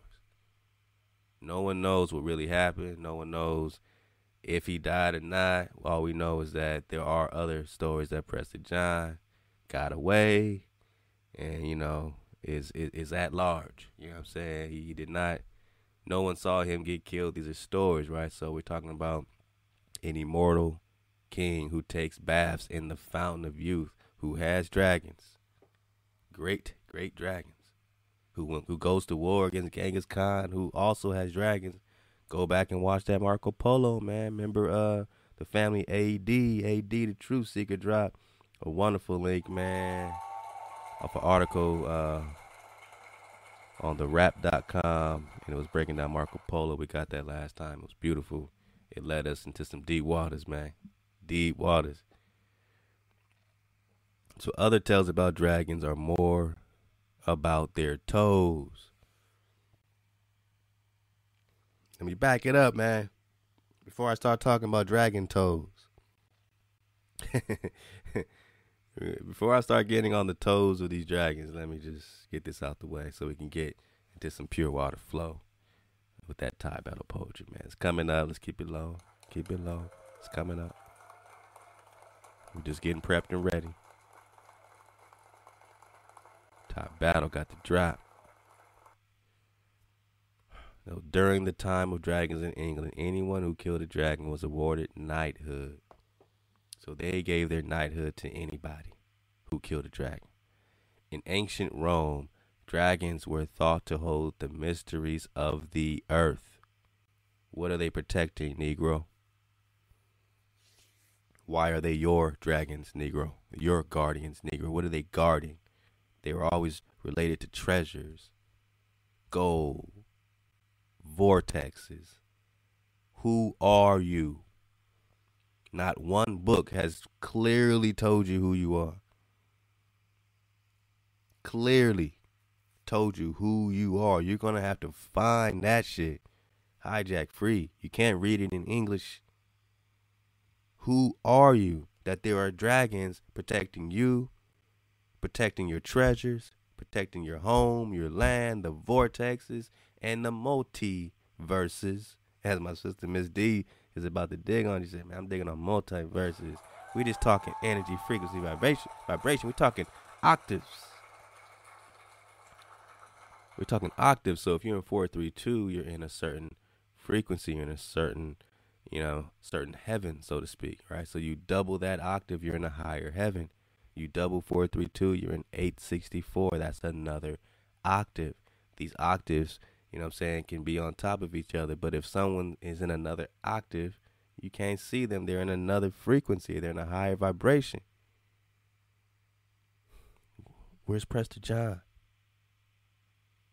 See, when someone has to drop on the octaves, when someone has a drop on energy, ah man, you're just talking immortality. You're just talking a Dragon King. Now, these people got their knighthood simply by slaying you. Remember, it, you are bonded with these dragons, right? Remember what what, it say in Baruch? I mean, I make sure I'm not tripping. Sometimes I be tripping, you know, who knows? It says in verse verse 6, and the dragon shall come forth from their holes to submit themselves to a little child. Not to these hijacks though, right? that's why they get their knighthood by slaying them. They submit themselves to their riders, their dragon riders. They call them dragon lords. It's a connection. It goes beyond a physical plane. Your connection with this specific energy of fire, water, ether, and land. Some would say that this energy is you. That the connection you have with this Drakan, the reason why it dies when you die is because it is a reflection of you. But let's go. During the time of dragons in, in England, anyone who killed a dragon was awarded knighthood. In ancient Rome, dragons were thought to hold the mysteries of the earth. Romans looked to dragons as a source of knowledge and used them as symbols of strength for their military. They used two forms of dragons. They used two forms of dragons. They used two forms of dragons. One which was used for heroism to protect them, and the other is a fearsome dragon used as a threat. Which dragon are you getting in Revelations 12? I'll wait. Are you getting the hero or are you getting the villain? So know that they use two forms, duality, right? So do not read in the mind of a hijack in English with that particular form of a dragon and think that you know some dragon drop. Because you're going to miss it. Because these hijacks aren't slaying hijacks. These people aren't being awarded knighthood by slaying hijacks. They're being awarded knighthood by slaying you. And when they slayed you, they slayed your dragon by default. When you died, your dragon died. At least in this in this game we're playing. So how do how, how do they rid this game of of dragons? They kill you. By killing you, they kill your dragons. They don't have to hunt dragons if they kill you. Now, what stops them from killing all of you? And that's the only question you need to, you know, take a step, take a breath, and say, Hawa. Only Hawa can keep the, these dogs off of you. Only Hawa has let you remain, or these dogs would have ravaged you. So there's two dragons. Now other tales. Now here we go about the dragon toes. Listen up. Dragon toes. Other tales about dragons are more about their toes. Other tales about dragons are more about their toes than the dragons themselves. Many, how many toes? Here's a, here, here's some trivia for the chat. Let's go. Here's some tri- here's some trivia for the drop chitty chat the chitty chat room. Let's go, man. My chat chats. How many toes a dragon has is quite significant. Now, how many toes do y'all think the great dragons or the king dragons or the knightly dragons have? How many toes? Let me check the chat. See who's going to put a number up. How many toes does the master dragon have? How many toes? We're only talking about toes. We're only talking about, you know, this little piggy went to the market. This little piggy stayed home. This little piggy wanted some roast beef or something like that. This little piggy didn't what none, something like that. And that little piggy cried wee wee wee all the way home. Who said three? Sister D said three. I, I'm talking about the master dragon. There you go. there you go. Five toes, man. Much out to Miss D. On point. Let go. Drop to the chat, to chat, to chat, chat, chat to the chat, to chat, to chat, chat. Yeah, all right, Sister Ty, let's keep it going. Yeah, I mean, 10 toes total, right? 10 toes total. 10 toes down, 10 toes down, 10 toes down. You gotta put all 10 toes down in the soil. If you're from the soil, you got pedigree. You got some pedigree, you better put all 10 toes down. 10 toes down. All right, simple question. How many toes? Just talking toes. Y'all didn't think you gonna come over here and talk toes tonight. Y'all, y'all thought y'all was gonna talk turkey. This ain't no jive, man. We're talking toes. Now, why do the master dragons have five toes on each foot?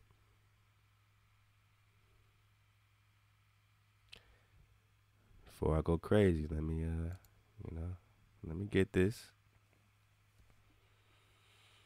Other tales about dragons are more about their toes than the dragons themselves. How many toes a dragon has is quite significant. Many different kinds of dragons are said to have three toes.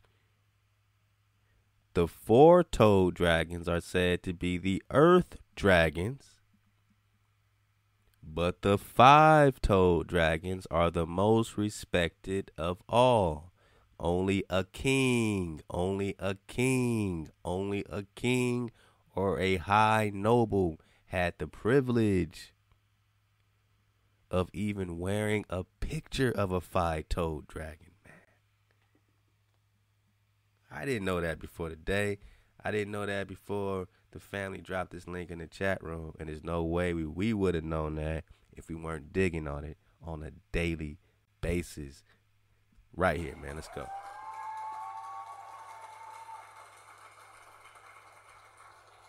It's more than just YouTube videos. Whenever someone can put, you know, the time together to do all that. Right now, we say, man, how can we do it? Hijack free, easy.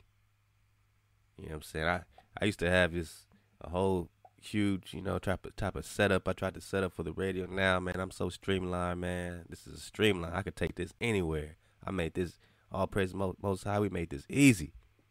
This has become easy work. They knock us down, we rebuild it.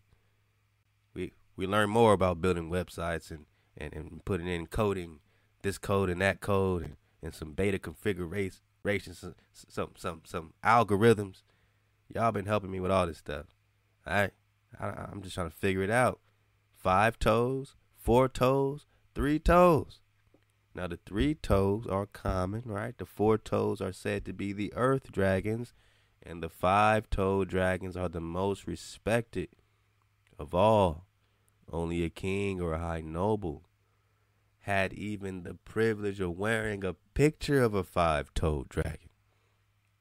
In ancient times, if a peasant was wearing or seen wearing the symbol of a five toed dragon, he would immediately be put to death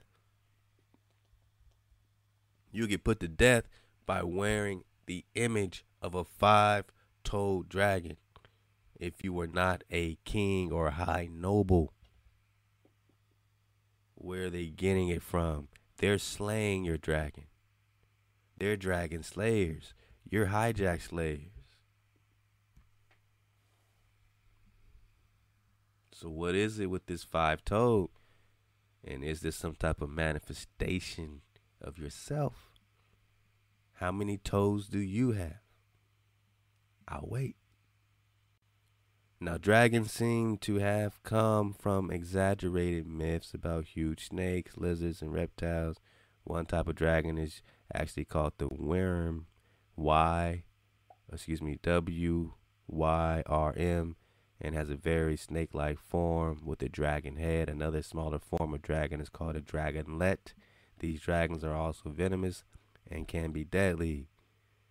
These dragons, right? So, certain things are dragons. You might not consider them dragons because they're not in the, you know, the dragon form you're used to, right? All right, all right. Whew, that's a lot of drop. And uh, I mean, y'all dropped this on me, man. And uh, bunch of Hob Chef Candy, man. Digging on it, man. Keeping my tea nice and warm tonight. That living water. She dropped this parable of dragon puss. Dragon puss. All right, dragon puss. That's what it's saying. Yeah. From Wikipedia. This this is going back to our Phineas. Remember Phineas? He's being held captive in Upper Manhattan. You tell me. You go look. You, you go tell me if you seen Phineas, the the green Acadian uh, Draco Rex. All right, Draco Rex is now the parable of Dragon Puss. Uh, code name Sir P. is Perry's counterpart in the fictional story of Excalibur or Excalibur. They're making you a joke. We're just talking about fire breathing dragons. It says he is Phineas. Alright, so Phineas is this dragon, Phineas, and Ferberlot or Camelot, pet dragon. Hmm. Unknown, or excuse me, Lancelot, right? So you got Lancelot. So is oh, okay. So are we getting some drop here that Sir Lancelot, his dragon, was the great dragon Phineas? Interesting, man. Unknown to his owners. Also, also, if Phineas is still living, could that mean that Lancelot is still living? Because if he was dead, Phineas would be dead. Does Lancelot have anything to do with this fountain of youth himself? Remember, Prester John said, We, my whole tribe, took six baths in the fountain of youth. He said, We. Just know that we were born of our mother's womb 562 years ago. This is out the Prester John letter in 1165 AD, saying he took six baths in the fountain of youth every time he turned back to the age of 32. He said, whether you were hundreds or thousands of years old, you turn back to the age of 32. He said he took six baths, and by 1165, he was already 562 years old. Not just Priest King, but the whole tribe rocking with Priest King took six baths in the fountain of youth. Now, is it a stretch to assume that this Sir Lancelot, the foundational legend of this Israelite knight, also took baths in the fountain of youth? And if he did, would that mean Phineas would still be alive just like he's alive? Still at the age of 32. Unknown to his owners, he is a secret agent of King Monopunzo and the nemesis. Maleficmert. So they're using all this based on real people and much of House Chef Candy because it's showing you how they put it in cartoons and games and all kinds of stuff, man, just to throw you off, man. So yeah, I just want to get those couple links. I know we got a lot dropping. I wish I can cover it all, man. Real talk, you know what I mean. But then this will be literally a, a six, seven, eight hour show, man. Um, but if you're in the li- if you're in the library, yeah, you definitely if you're in the chat room, nothing but drop is coming your way at all time, man. And while we're talking about Chef Candy, we gotta give her this, man. This is her favorite soca song. It's only about four minutes long. You know, I, I ain't gonna give her a whole mix like I did last night, cause then I'm not gonna archive anything for the whole week, if you know what I mean. Machel Montano, one more time. Hey man, let this smash. We'll be right back right after this joint with that tie battle poetry. Thank you for waiting. We'll have that pure water flowing. We'll get that drop. We'll let it flow. Maybe get a couple more links that the System SD dropped on us, man. We're talking about that. We're talking about that My May, My May, M A M A I. We got that yesterday out. This this Tartar drop, this Mongol drop. He is the military commander, the powerful commander of the Golden Horde in the 1370s. And we're surfing the wave that these are the Russians, and the Russians are the Rus or the clan Ross, which are the descendants of the kings of Jerusalem. And this Mamai is definitely, in my, you know what I'm saying, uh, early search, definitely appears to be an exilarch, um, an Israelite, uh, you know what I'm saying, priest, king, chief, whatever you want to call him, rocking literally in the 17 or 1370s. Mamai, a powerful military commander of the Golden Horde, which are also Israelites. Now, whether we're talking about Hebrews of different, you know, tribes, they're definitely Hebrews. And this particular Mamai was fighting against the hijack. It says this horde controlled the lands, which is now the southern Ukraine, southern Russia, Crimean Peninsula. And then we dig on this war, man. Um, uh, man, was it the, called Kovo or Kulikovo or something like that? You know, the whole the whole grounds of what was going on, man.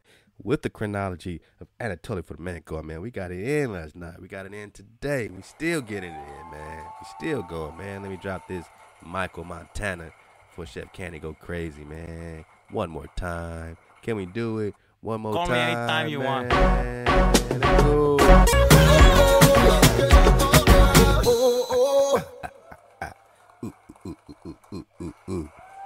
Woo! Man. Let's stop the soca right here before we go crazy. We don't want the broadcast to end abruptly. No more winding up, girl. Don't you whine on me now and let me work. we working, we working. Ah, man. Yo, homicide five, five, 540 in the building. 540 in the building. That's all you need to know. AKA Eyes of the Dragon, man, in the building, in the chat room, man. What's up, bro? Everybody surfing away. What it do, do? What it don't do? What it don't do? Huh? That's a good question. What it don't do? Y'all hear that? I know what that means. Don't act like you don't know. Don't act like you don't know. It's time for some tie battle poetry around here, man. Ah, ah, ah. Keep it low. Keep it low. Snap your fingers. Have some uh, R-E-S-P-E-C-T. It's tie battle season, man. This is something that we all look forward to. Every day I check my email. I'm like, there we go. Let go. Wow. See if Ty Battle doesn't write uh, some poetry. You might see me like write something and make, you know, try to pretend like I'm her. You know what I mean? So if there's ever any time you're like, I'm like, yeah, you know, roses are uh, red, violets are blue, red fish, blue shit, blue fish. Give a dog a bone. Party like it's 1999.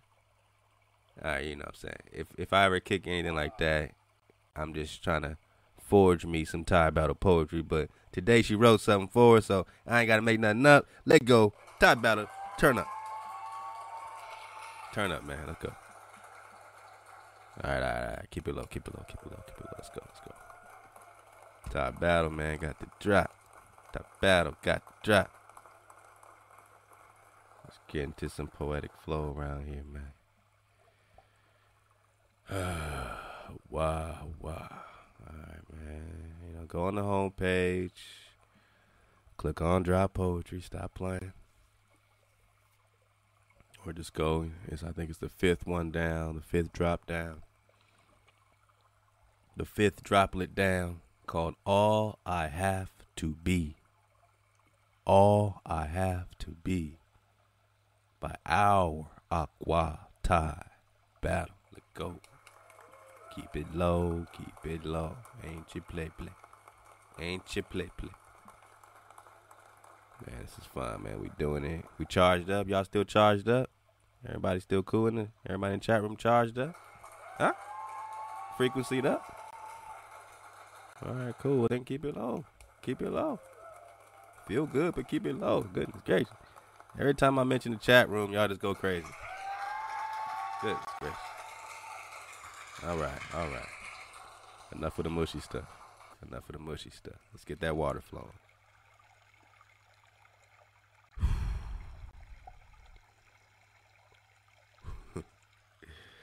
Hawa.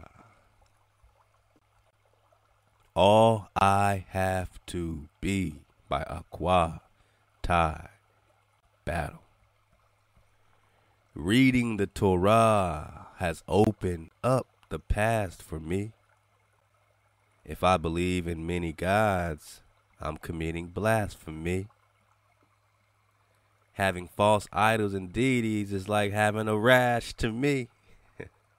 Christianity won't survive because a lie can't last in me. Bang. I felt like a worm on the line that was lost and cast at sea. Like I was the last one blind, but somehow I'm the first to see. With Hawa's word on my side, now I feel so fast and free. Struggling for wisdom and understanding is no longer a clash for me. To obey my father's laws was all that was tasked to me. To follow his commandments was the only thing asked of me. To search for the truth that was craftfully masked from me. To be a servant to the Most High is all I have to be. All I have to be by Akati Aqua Tai. Battle, man. Let go. Tai. Battle, man. Let go. Hey. Hawa. Hawa. Hawa.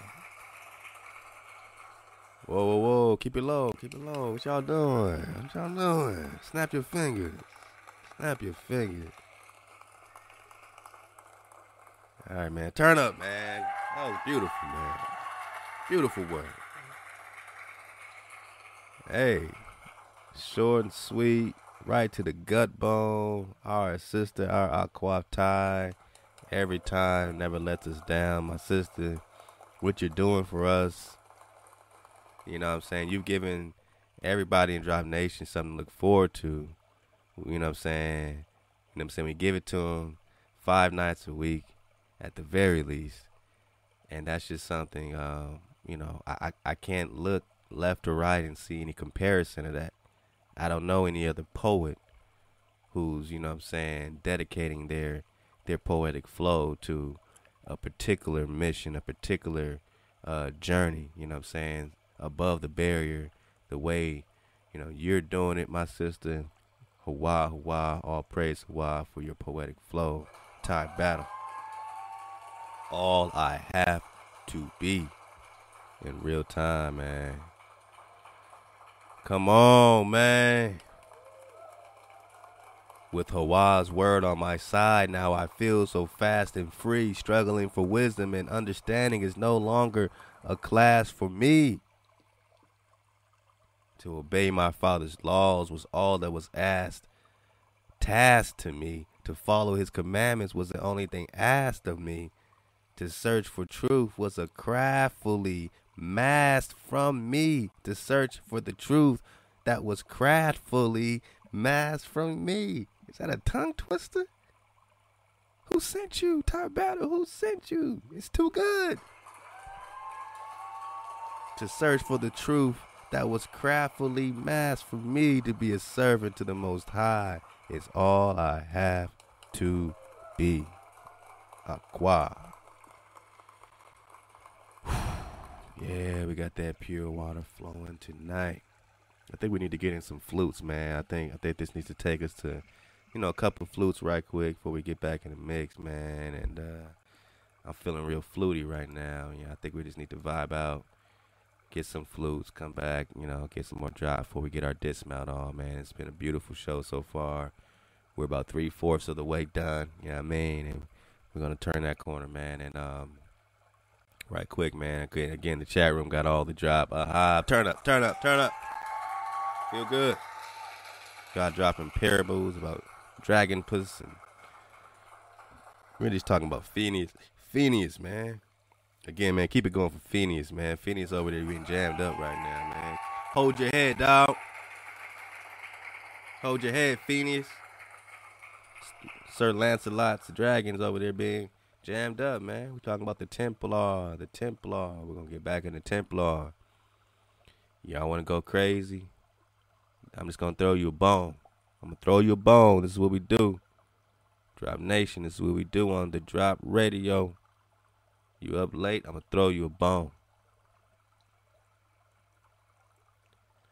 Look into Oak Island. Look into Oak Island. Look into Oak Island. Not a lot is being talked about about Oak Island, except all these people, all these years looking for this treasure, saying that the Templars hid them some treasure in Oak Island. They call it the Money Pit. The Money Pit.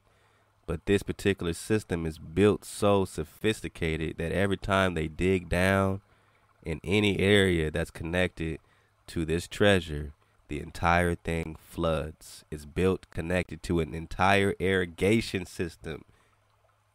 And every time it tricks or it, it, it triggers this air, you know what I'm saying, this water flow and it floods out everything they dug out and it becomes this one big piece of mud, you know what I mean? And they've been trying to do this for decades.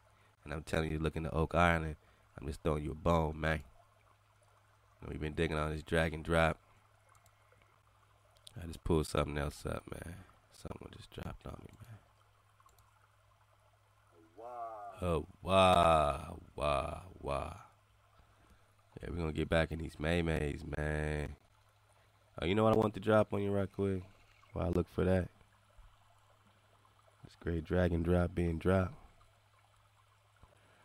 There's a document called Quest of the Dragon and the Bird Clan. And it's written by Paul Kekai. K E K I A I. Alright. I can't pronounce the last name, but I'm here on the on hun- I'm I'm here on page 144, and I'm gonna drop this in the chat, and I will be dropping this in the library very soon, very soon. Bang! You got it in the chat, man. You got it in the chat. I'm also gonna drop this other drop. And this other drop, I'm gonna tell you right now, dodge the hijack. They're gonna try to throw a lot of, you know, Saturn, Saturn hijack in this, but we're gonna get some pieces that deal with the Holy Grail. Cause when I go to Prester John 29, Prester John 29, we will be talking about the Holy Grail, man. And we're gonna dig on just one paragraph to let you know where we're going with this Holy Grail business. We're not we're not going Christian crusade with it. All right. Let me dig on this. Uh, hold up. Hold up. Let me give you the link. This other joint's called Dragon Society. All right. Again, they're gonna try to go crazy with Saturn and their own hijack. I need you to get the babies out. That's all I need you to do.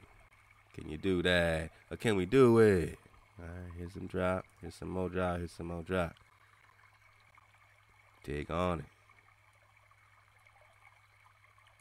While we got the water flowing, sounding beautiful, man. This water is the water of Udah, Judah. This is a beautiful, special place. The water you're hearing right now is not some water off of YouTube. Okay? This is not some water, you know, from the water faucet. This is a special place. Not just because it's in Utah, but this particular patch of water, you know what I mean, is where, you know, when our tribe is out there, man, and choose a village, and we over there in certain little pockets, and J Stew, how was Stew, gave us the drop on this particular area. It's real top secret, man. I mean, you gotta, you gotta really be a wave surfer to know where where where this is here. this water, man. Oh man, I mean, this is where you brushed your teeth if you had to. This is where you filled up your uh, bottles if you had to. It was pure strength. It was water filtered through these rocks, and it was a beautiful filter we found for the water. And man, we bathed in it. I mean, whatever you need to do, your water was right there. And I, I never felt so rejuvenated waking up out my tent, going down to this little, you know, water situation. And yeah, one day just captured the whole conversation, man. And this is it. This nine minutes, man. This nine looping minutes is the whole conversation I personally captured. you know what I'm saying? You know, just feeling uh feeling good with this water here, man. You know. Feeling good with this water here,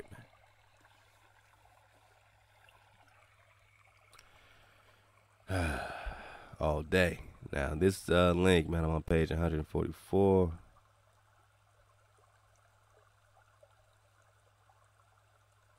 It says a few centuries after the introduction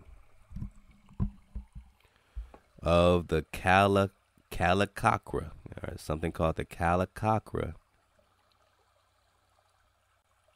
into Tibet, possibly by the Shambhala king himself. Remember, Shambhala is Shimbala. Surf the wave. All this India, India, Tibet stuff, you're in it. You're in the Indias, right here in America. Don't get it twisted. Dodge the hijack. So when you hear India, for the purpose of the wave, for the purpose of seeing clearly, I need you to dig on it.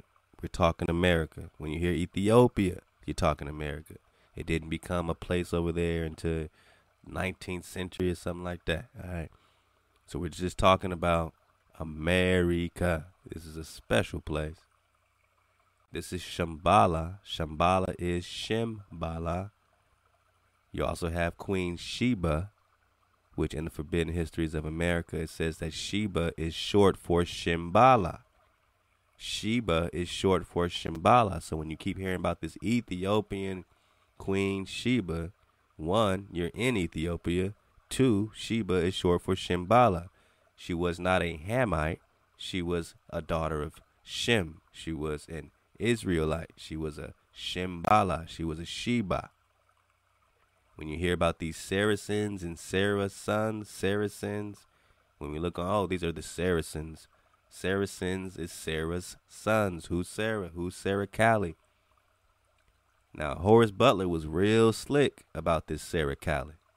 He even tried to make her like the daughter of Jesus or something, right? Jesus' daughter, but who's the real who's the real Hawashua? Who's the real Joshua? And did Joshua have a daughter? Is her name possibly Sarah Callie? Sarah the Black. All right, who's being worshipped as the Black Madonna? Sarah Callie, Sarah the Black. Okay. Follow all this. And who is who are Sarah's sins? Who are Sarah's sons? Who are Sarah's sons? Okay, Saracens. Let's go. So, a few centuries after the introduction of Kalachakra into Tibet, possibly by the Shambhala king or Shimbala king, Prester John, Prester John, Prester John, the Shambhala king. Remember, Shimbala is also Cibola. C I B O L A. Cibola is Shimbala. Cibola is Kalelu. Cibola means the promised land. Kalelus means the promised lands. I'm talking Kalelus, Cali. You look at the old maps where Utah, all the four corners, Arizona, New Mexico did not exist. It was all called Udah or Judah. That's all the land of Judah. The whole four corners, this whole Anasazi situation.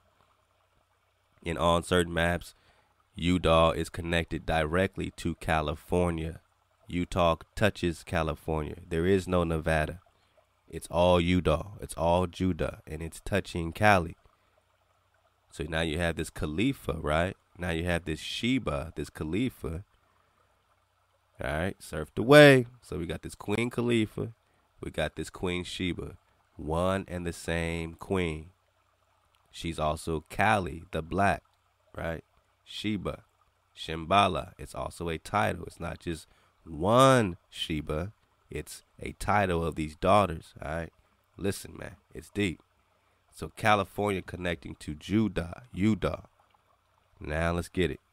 So this Shambhala or Cibola king or Kalelus priest king, Prester John, sends messengers to the emperors of the Pope and Pope. So to the emperors and the Pope. All right. So he sends a message. At this time, the situation of the European Christendom was very grave. So the Christianity, you know, today was at a sad state of disregard. It was grave. It was plagued. The Christians that they say they're looking for are the Hebrews. They're calling them Christians. They're calling King David Christians. But to differentiate, they call them Nestorian Christians. Nestorian. You look up Nestor and etymology, connects you to an old king renowned for wisdom, renowned for wise counsel. An old king is an ancient king. Let's go. The expand oh, wow, the expanding Turks had administered a crushing defeat to the Byzantine the Byzantine Empire and had even captured em- Emperor Dio Diogenes in 1091. So who's this Diogenes? D I O G E N E S, who was captured in 1091, who was then released in an act of magnanimity from 1144, wow, from 1144 to 1186, one crusader states, one crusader state after the next fell and until and until Jerusalem, which had been recaptured by the crusaders, fell in 1187. Jerusalem fell in 1187. Prester John's letter is 1165. They say Prester John was invaded by Genghis Khan in 1203. And now you have the Dark Ages, and now you have a rewriting of history, and them taking this fall of Jerusalem and pushing it back to 70 AD, saying, "Oh, that's Titus, that's Titus Vespasian." And I'm just asking you an honest question, and I haven't even dug on this, but I need you to dig on this. What does Titus Vespasius have in common with Americus Vespucius. You hear about this? Oh, America's named after this guy named Americus Americus Vespucius. What does that got to do with the Vespasians and the Flaviuses and the Tituses? They change times and laws, man. What does Titus have to do with Americus? What does Vespasian have to do with Vespucius? And where are they hiding the phantoms and the duplicates? If 1187 is the fall of Jerusalem. Now, Prester John's appearance at this time may have been designed to create hope. So, this last noble image of a Negro just the thought of his appearance gave these people hope, man. The thought of you gave these people hope. Why? You got the Garden of Eden, you got the Fountain of Youth, you got these, you know, all this in, all this so-called magic that they were trying to hijack for power. Prester John's appearance at this time may have been designed to create hope, since that king promised to bring relief to Christian kings by invading from the east. Oh, he promised, but did he? Did he?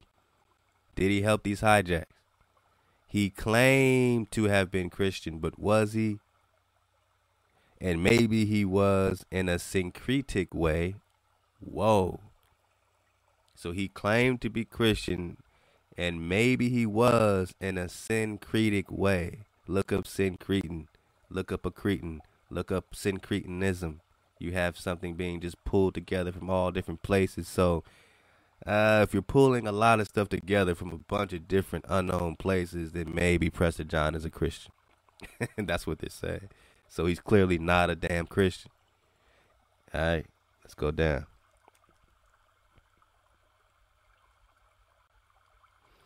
Now here's what I want you to focus on. I'm gonna get it, get this. I'm gonna read it from another link, and then you know we're gonna vibe out. Now, Prester John appears to have created something else designed to psychologically spur the Christian warriors into action. He's playing mind games with these with these dogs, all right? In the romance literature that arose after the letters of the Eastern King, Prester John, we hear the relic known as the Holy Grail. What is the Holy Grail?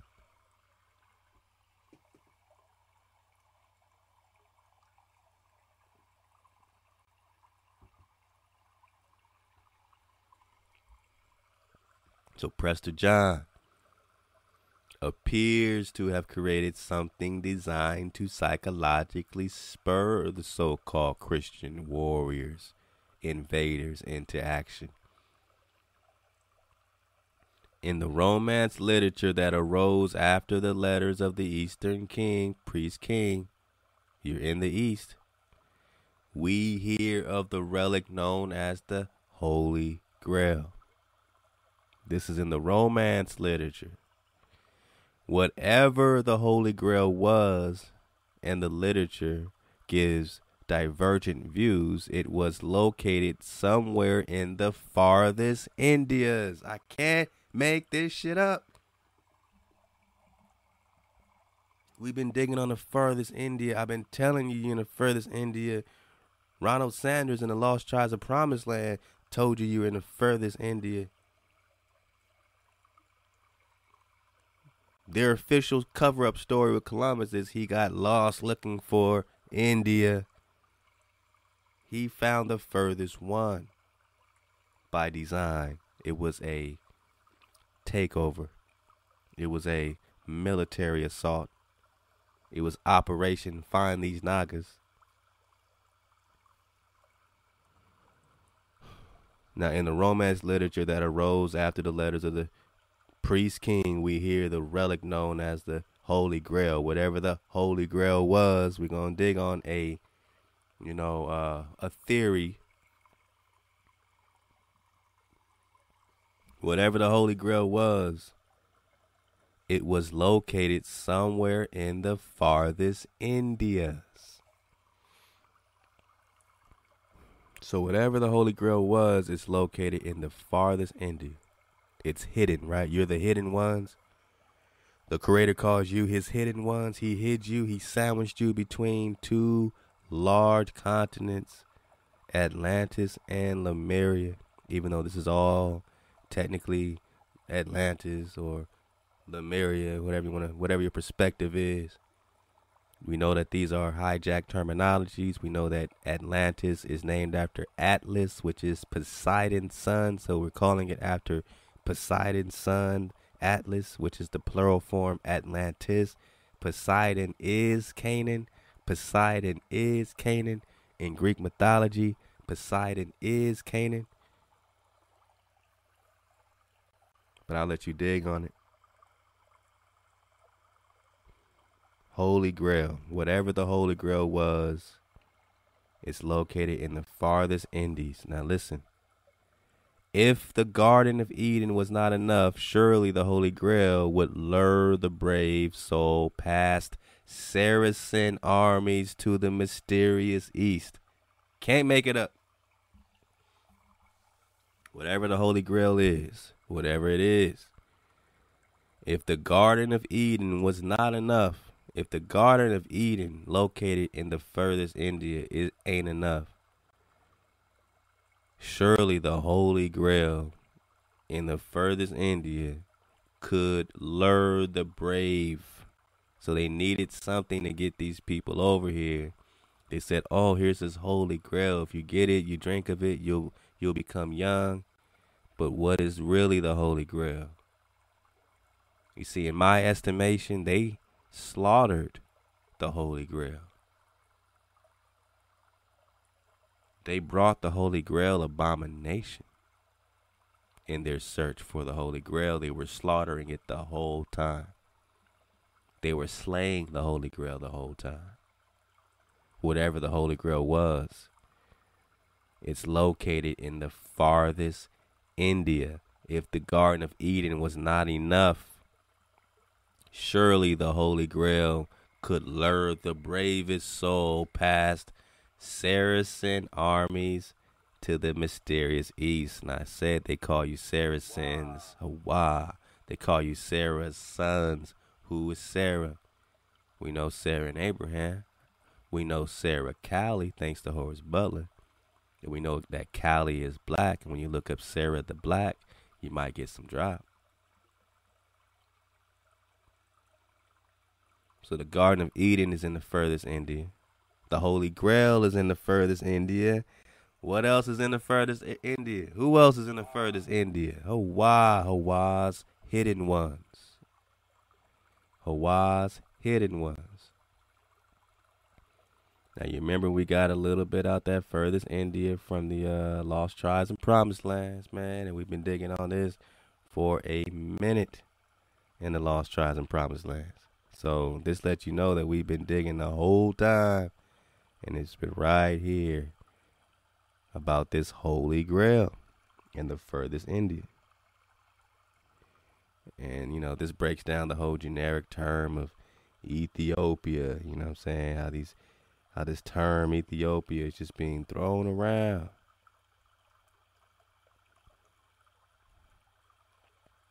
Let me just get this one part about this Ethiopia. Let's see. Let's see. Let's see. I'm on page, man. Dig on it, man. The Lost Tribes and Promised Lands, man. I'm on page 47.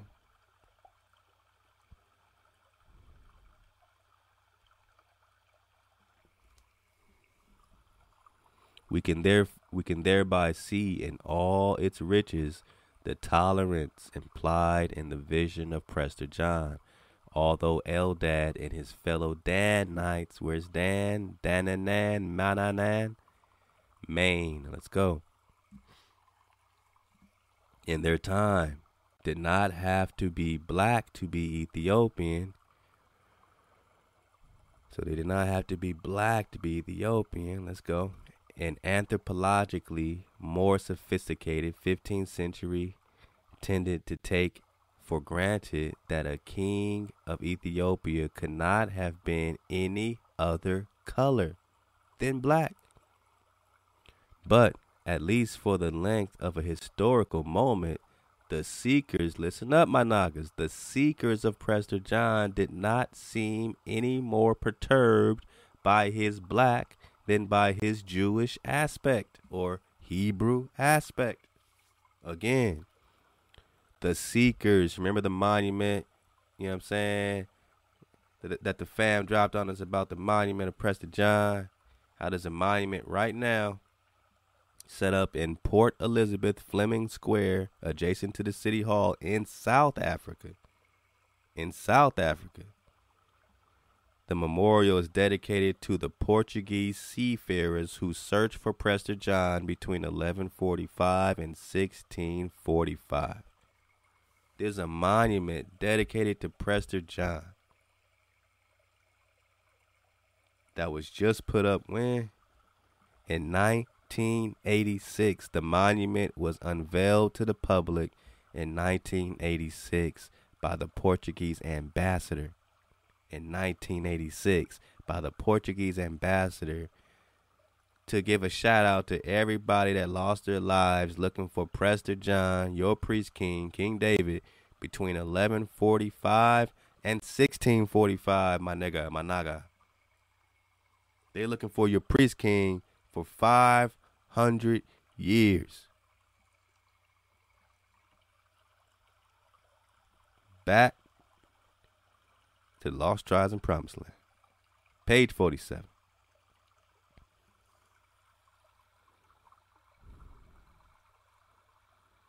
The seekers of Prester John, remember the monument said this is dedicated to the seekers or the seafarers who searched for Prester John between 1145 and 1645. And it says right here on page 47 the seekers of Prester John or the seafarers did not seem any more perturbed by his blackness than by his Jewish or Hebrew aspect. So he was a so called black Hebrew. To this extent that his blackness, to the extent that his blackness, to the extent that his blackness was that of an Ethiopian, John's emerging coloration had a long and not always unfavorable history. It wasn't always a bad thing to be called so called Ethiopian or so called swarthy or dark or copper color in Europeans' eyes. It should be pointed out that, like the geographical term Ethiopia, like the geographical term quote unquote Ethiopia, the anthropological ones, Ethiop and Ethiopian, were in ancient and medieval times thoroughly ambiguous. So the term Ethiopian is thoroughly ambiguous, thoroughly vague. It does not describe a place, it describes a characteristic of a copper colored people. That's it. What did Waka Flocka say? I'm tribal, man. It's not just about a country, man. It's about my tribe, wherever we are. So, to the extent that his blackness was that of an Ethiopian, all right, it should be pointed out that, like the geographical term Ethiopia, the anthropological ones, Ethiop, Ethiop, Ethiopian, were in ancient and medieval times thoroughly ambiguous. When they referred to someone from a specific region, they were close to our modern usage, even though that region, which began at the Upper Nile and had its capital at Meroe, sometimes stretched southward and eastward as far as the imagination would allow. Sometimes stretched southward and to the east as far as the imagination would allow, and that includes the Americas.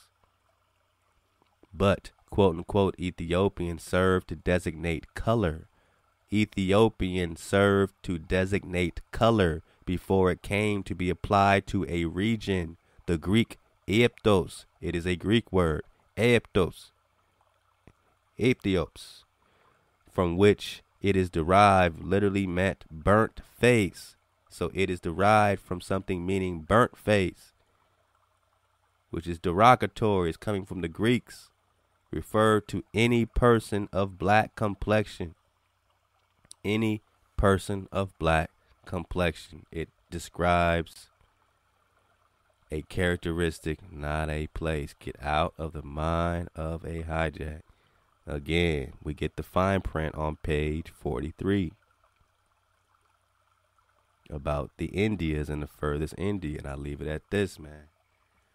You know, I wanted to get into this other, you know what I'm saying, drop. I mean? But I'm to leave it at this, man. Here we go. Here we go. Now we're talking about the term India. We're talking about the term Ethiopia. We're talking about page 43. We're talking about the fine print that we normally skip over at the bottom of the page. That's the that's the fun stuff we like. Now, this confused geography, we just talked about Ethiopia, all right? This confused geography has ancient and honorable ro- roots. Ancient and honorable roots. The first verse of the book of Esther described the realm of the Persian king Ahasuerus, whose palace was at Susa, as extending from India, listen, as extending from India even unto Ethiopia. In Greek and Roman authors, there is a similar vagueness. We're talking about am- ambiguity, this being an ambiguous term. We're talking about a similar vagueness about a vast region taken in by the terms like India, quote unquote, Hawa, and Ethiopia, quote unquote. So there's a similar vagueness when you talk about India unto Ethiopia. It's a similar vagueness about a vast region taken in by terms like India and Ethiopia. It's a vague, vast region. I'm telling you, you're in the furthest India. It is a similar vagueness, a vast region. Hawa. The latter, Ethiopia, even in its narrowest sense, comprises a much larger area than present day Ethiopia, and beginning just south of the first cataract of the Nile, and about its relationship with the better known Persia, in the apocryphal Acts of St. Thomas, the apostle moves easily between Persia and India, so called India. All that is right here, my people. We're talking South America. Come on. Starting roughly with the 15th century uh, apocryphal writer, the Pseudo Abdias, who described the exploits of the apostle Thomas Bartholomew and Matthew in in each of the three Indias, the later concept became a standard one in the Middle Ages. The later concept. These are concepts. You're in the mind of a concept. You're in the mind of a hijack who's giving you concepts and you're taking them in two two dimensions and say, Yep, that's Ethiopia. Yep, that's India. Oh, you from India? My Naga, you're in it. You're in the furthest one. Let's get it. Because there's three Indias, did you know? There's three Indias, did you know? You could say you could say there's three Ethiopias. It's the same thing, India and Ethiopia, both ambiguous, vast regions of dark people in a vague terminology. So it's for you, it's open for you to surf the wave. No one can tell you which Ethiopia they're talking about because they have to first admit that it's an ambiguous term and that it's a Greek term. And you're just talking about a burnt face. Who's calling you burnt face? You call each other burnt face? Come on. Three Indias. The later concept became a standard one in the Middle Ages. Middle Ages wins that. That's the takeover. Right? They looking for Prester John between 1145 and 1645. Wins the Middle Ages. Wins the Dark Ages. When is history being, you know, push push back and dump back 300 years? Dump back 1100 years plus. Now, let's learn about the three Indias so we can make our dismount. One of the three Indias, quote unquote, faced Ethiopia, quote unquote. So we're talking about what you would consider the modern Ethiopia or Africa. All right, so one India faced Africa, all right, according to the pseudo Abdias. The second faced Persia and the third occupied the ends of the earth between the ocean and the realm of darkness. Is that ambiguous? Is it vague? Or is it getting a little more clear that when we talk about the third India, you're talking about the ends of the earth? And I want you to put yourself into the mind of a hijack and you tell me where is the ends of the earth to a hijack?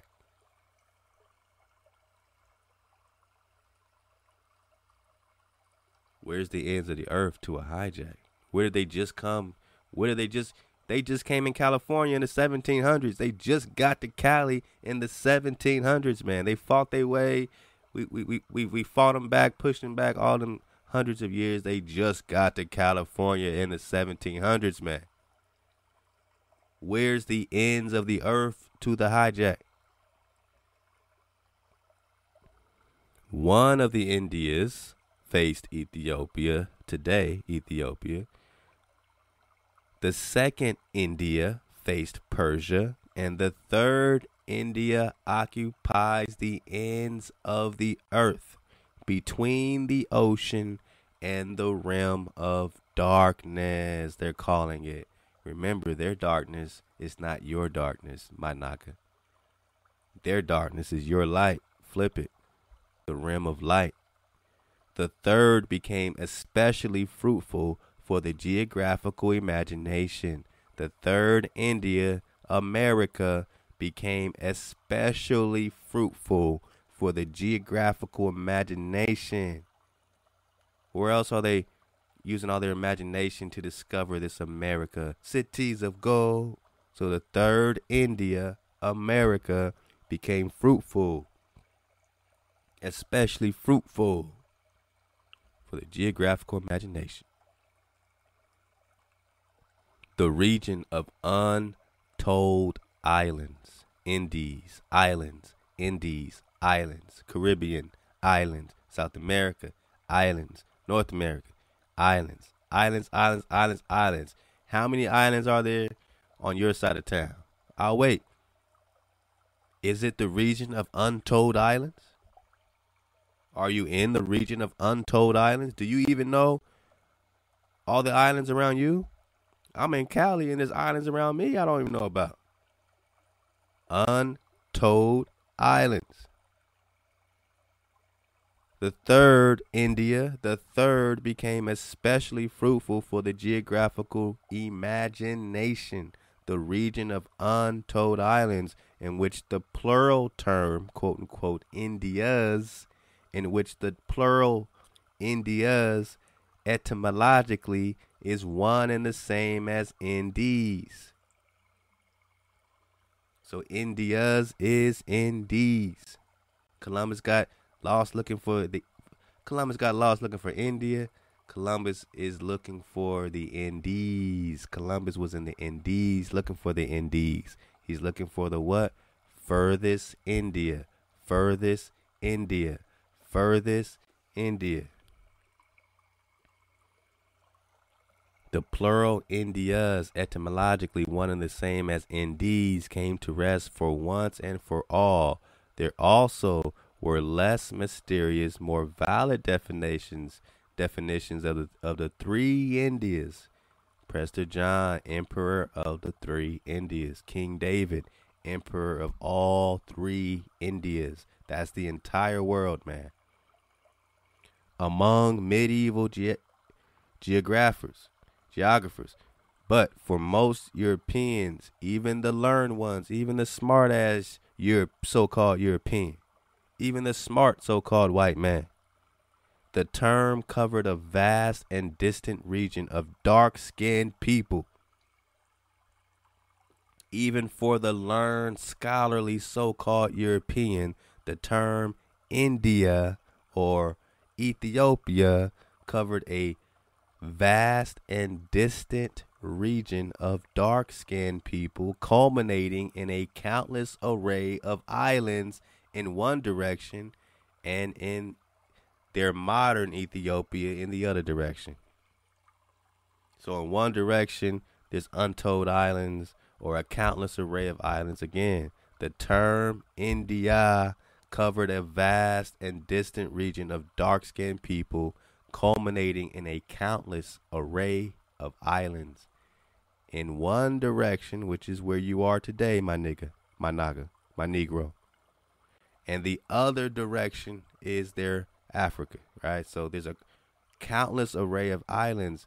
These are the Indias from here to their Africa over there, which is why Prester John has a memorial right there in South Africa, because you're just talking about the Indias. And the Indias cover a vast and distant region of dark copper colored people, culminating in a countless array, hoa, a countless array, hoa, a countless array of islands in one direction, and your modern Ethiopia in the other direction.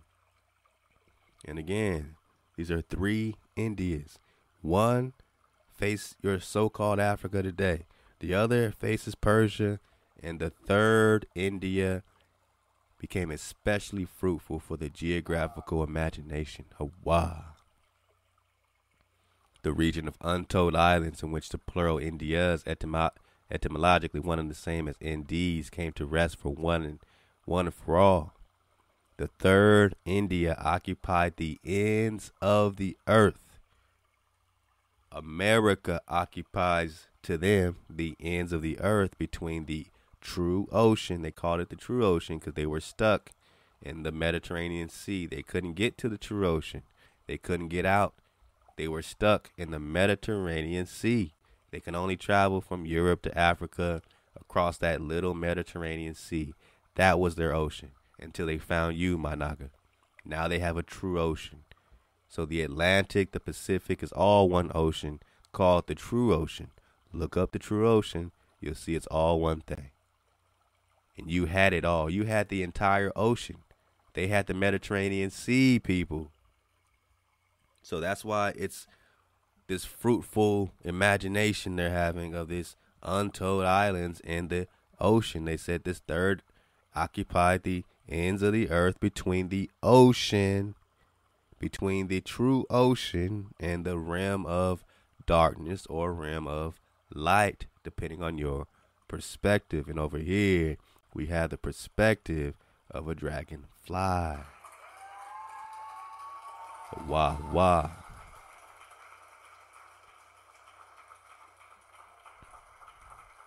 And again, we were just digging on the furthest India. And where did we get that, man? We had this. what link do we have? Uh, talking about this India. All right, so let's go back to the the quest of a dragon and bird clan link that we were just in. And I'll just repeat about that Holy Grail drop. Remember the Holy Grail drop. All right, we're right on it. We're right on it. Right on time. Whatever the Holy Grail was, and the literature gives divergent views. All right. It was located somewhere in the farthest Indies or the farthest India. Again, this is out the book Quest of the Dragon. We just got it out the book Lost Tribes and Promised Lands about the furthest India. All right, so now we got the farthest India, the third India between the ocean, the true ocean, and the realm of darkness. Untold islands, right? Okay. Whatever the Holy Grail was, it was located somewhere in the farthest Indias or third Indias or Americas. So the Holy Grail's right here in the Americas. What is the Holy Grail? If the Garden of Eden was not enough, surely the Holy Grail could lure the brave souls past the Saracen armies to the mysterious east. Again, they were trapped. They couldn't get out the Mediterranean Sea, so they needed something to lure the brave, the brave soldiers, right? The brave Christian warriors past the Saracen armies. Cuz they couldn't get out. So they had to fight their way past the Saracen armies to even check it out. Now you see why they needed some help. Now, all Saracens are not the same. Most of the time, when they're calling people Saracens, they're just talking about any Moors, any of the Moors. But of course, we have divergent views of what this Moor business is all about. Moor means great, so we were called Moors. Matter of fact, even on the Rus uh, crest or the Andrews crest, they say more, but they call it, they spell it M O R E. They don't spell it M O O R. What's the difference? Well, more. Hey, we know more, right? M O R E. I want some more water. I want some more tea. I want more gold. I am more than you. I am greater than you. That's what a more is. M O R E. More. But their more means Moab. Their more means Canaan. Their more means Amalek. Their more means Ammon. Their more means Esau. Their more means confederacy. Psalms 83.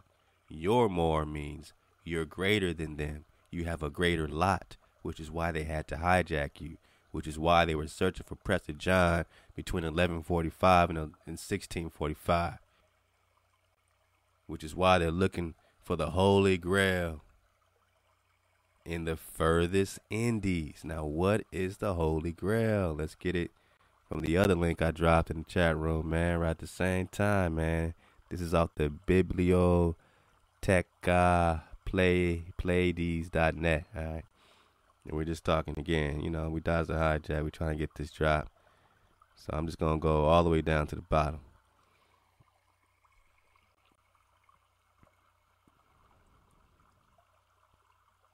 We're just talking about the Holy Grail, man.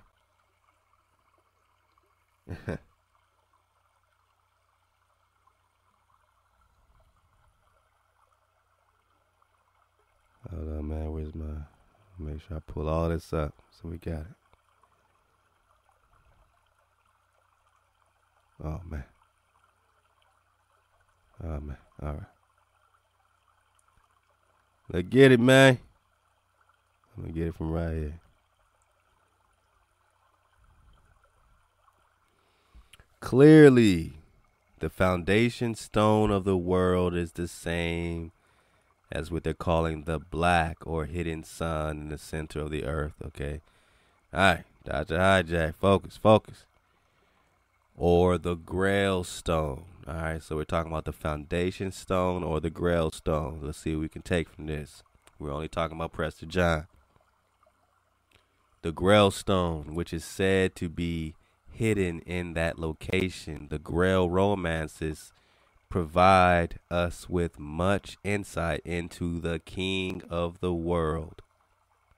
He is represented in the story by one of the supporting characters, Prester John. Just getting the babies out. Just getting the babies out. So clearly, this foundation stone, or the grail stone, or holy grail, the grail romances provide us with much insight into the king of the world. He is represented by Prester John, a king who is mentioned in passing as ruling over a spiritual domain in the faraway east. Ain't the Grail located in the furthest India in the furthest east, right? You're in the east, flip the map. And who quite fittingly is said to come from Davidic descent. This is another substantiating source saying that priest king has something to do with King David.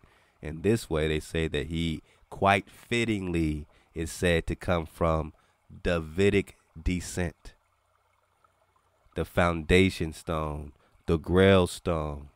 The scepter will never leave David. Right? The dignity of a sacred king. Actually, let me back it up. Let me back it up. All right. So Evola continues. The Tractatus, they call it Tractatus, referred to him as King of Kings, right? We're talking about the Emperor Hawa, Emperor of the Abyssinians, the three Indias, Prester John, Priest King, King of Kings. Emperor means King of Kings. Negush, Naga, Negush, Naga. He combined spiritual authority with regal power. Listen up. He combined spiritual authority, the law, with his regal power. He had it in he had it in line, Hawa. Yet essentially Prester John is only a title, remember that, priest king, and a name, which designates not a given individual, but rather a function. A function. So when you're looking for Prester John, you're looking for someone who's fitting this function. What is a Mashiach? What is a messenger? They fit a function. It's not one person named messenger, right? Oh, that's the messenger. His name is messenger. There are many messengers, right? Depending on what their function is from Hawa, our secure breath, our breath of security. What is the function? What is the breath? Prester John is only a title and a name which designates not a given individual but rather a function. Thus, Wolfram von Eschenbach. And I have this PDF. We're going to drop it in the library. Maybe we'll get some tomorrow, man. Maybe we'll get some tomorrow, man. Y'all still out there, man? We still surfing the wave, man? You still digging on this, man? Still all right to you, man? You still surfing the wave, man? Let go. I'm almost I'm almost out of here, man. We making our dismount. We just get it all in, man. We we packing a lot into this four hour show every night. Four hours a night, twenty hours a week, eighty hours a month. Let go. Turn up. We pack a lot into our investigation, man. I see you in the chat room. Much of hi to the family. Still surfing the wave in the chat room. Some of them is like four or five in the morning, man. I really appreciate that. And again, you know what I'm saying? All praise the most high. I pray you get a I pray you get a restful sleep. I, I, I pray that two two or three hours feels like eight hours to you. You know what I'm saying? You know, whenever you sacrifice like this, man, I really appreciate y'all for manifesting our energy here. So this Wolfram von Eschenberg and the and in the Tituro. So there's two. All right. So Wolf Wolfram von Eschenberg is an author. All right. He he wrote this book, and Prester John is all in it, but he's being put under different titles in this book. And this is now we can dig on a whole new title, a whole new character that has a lot of Prester John drop. All right, we're gonna get that, you know, for the most part next time. I'm just giving you a teaser into what we're gonna dig on tomorrow. All right. So this Wolfram von Etchenberg, Etchenbach, and in the Tuturo, Tuturo, all right, we find Prester John as a title, the Grail. The Grail. So they also are calling Prester John, Priest King, the Grail. So when you look at Indiana Jones and they're looking for the Holy Grail, just remember that there's a memorial set up in 18, 1986 by the Portuguese ambassador when they're looking for the Grail, right? The Crusades, they're looking for the Grail. The Portuguese seafarers searched for Prester John between 1145 and 1645. They're looking for the Grail on record for 500 years, and the Grail is the last noble image of the Negro, Naga, copper color race found in America.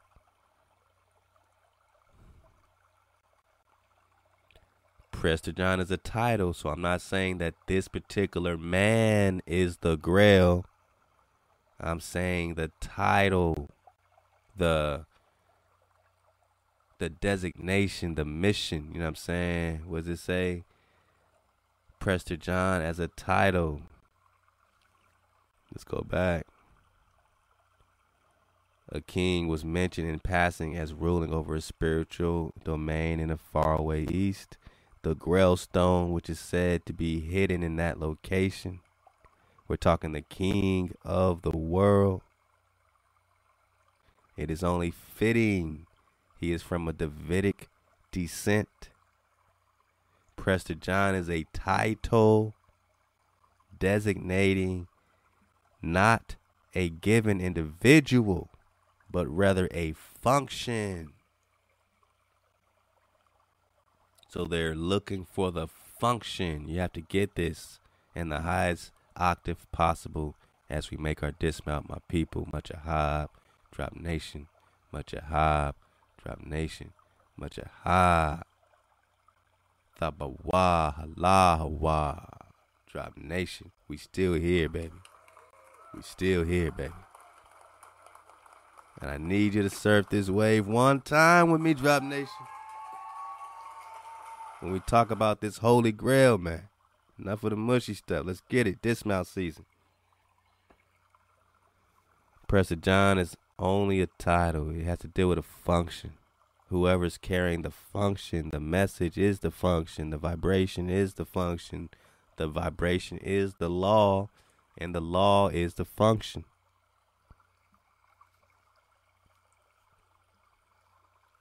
Prester John, the Grail.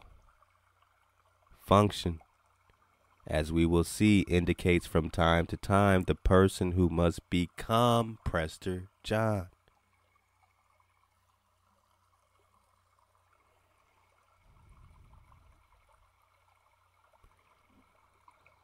Prester John, the Grail. Prester John, the Holy Grail. Prester John, the Grail Stone, the Foundation Stone. Priest King, the Grail. Priest King, the function. Indicates from time to time the person who must become Prester John. the person who must become this vibration, must become this function. Moreover, in the legend, Prester John designates one who keeps in check the people of Gog and Magog. Damn, I can't make this up. What a dismount. What a dismount. Moreover, in the legend, Prester John, priest king, designates one who keeps in check the people of Gog and Magog, who exercises a visible and invisible dominion. What what Miss D and Copper Color waking, breaking down with the multi universe, man?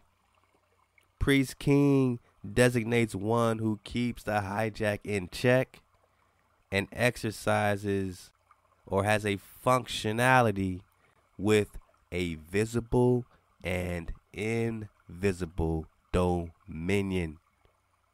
What is a dragon body? Figuratively, dominion over both natural and invisible beings,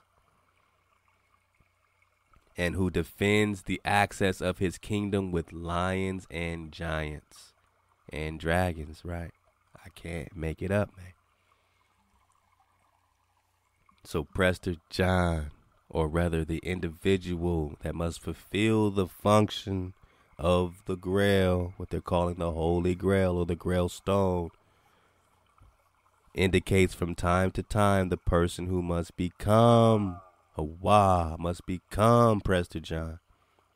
Moreover, in the legend, Prester John designates one who keeps in check the people of Gog and Magog, the hi- hijack 101, the Confederacy, Psalms 83, who exercises a visible and invisible dominion, figuratively dominion over both natural and invisible beings, and who defends the access, Wah, who defends the access of his kingdom with quote unquote lions and giants, and they put it in quotation marks, lions and giants, because they really talking dragons. They really talking dragons.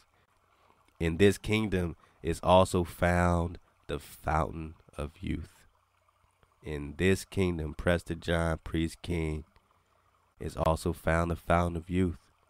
The dignity, the dignity of a sacred king is often accompanied by biblical reminiscences, reminiscences by presenting Prester John as the son or nephew of King David and sometimes as King David himself.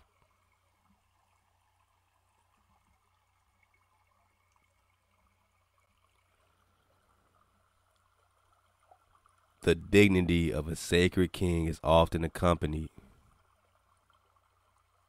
by biblical reminiscence by presenting Prester John as the son or nephew of King David.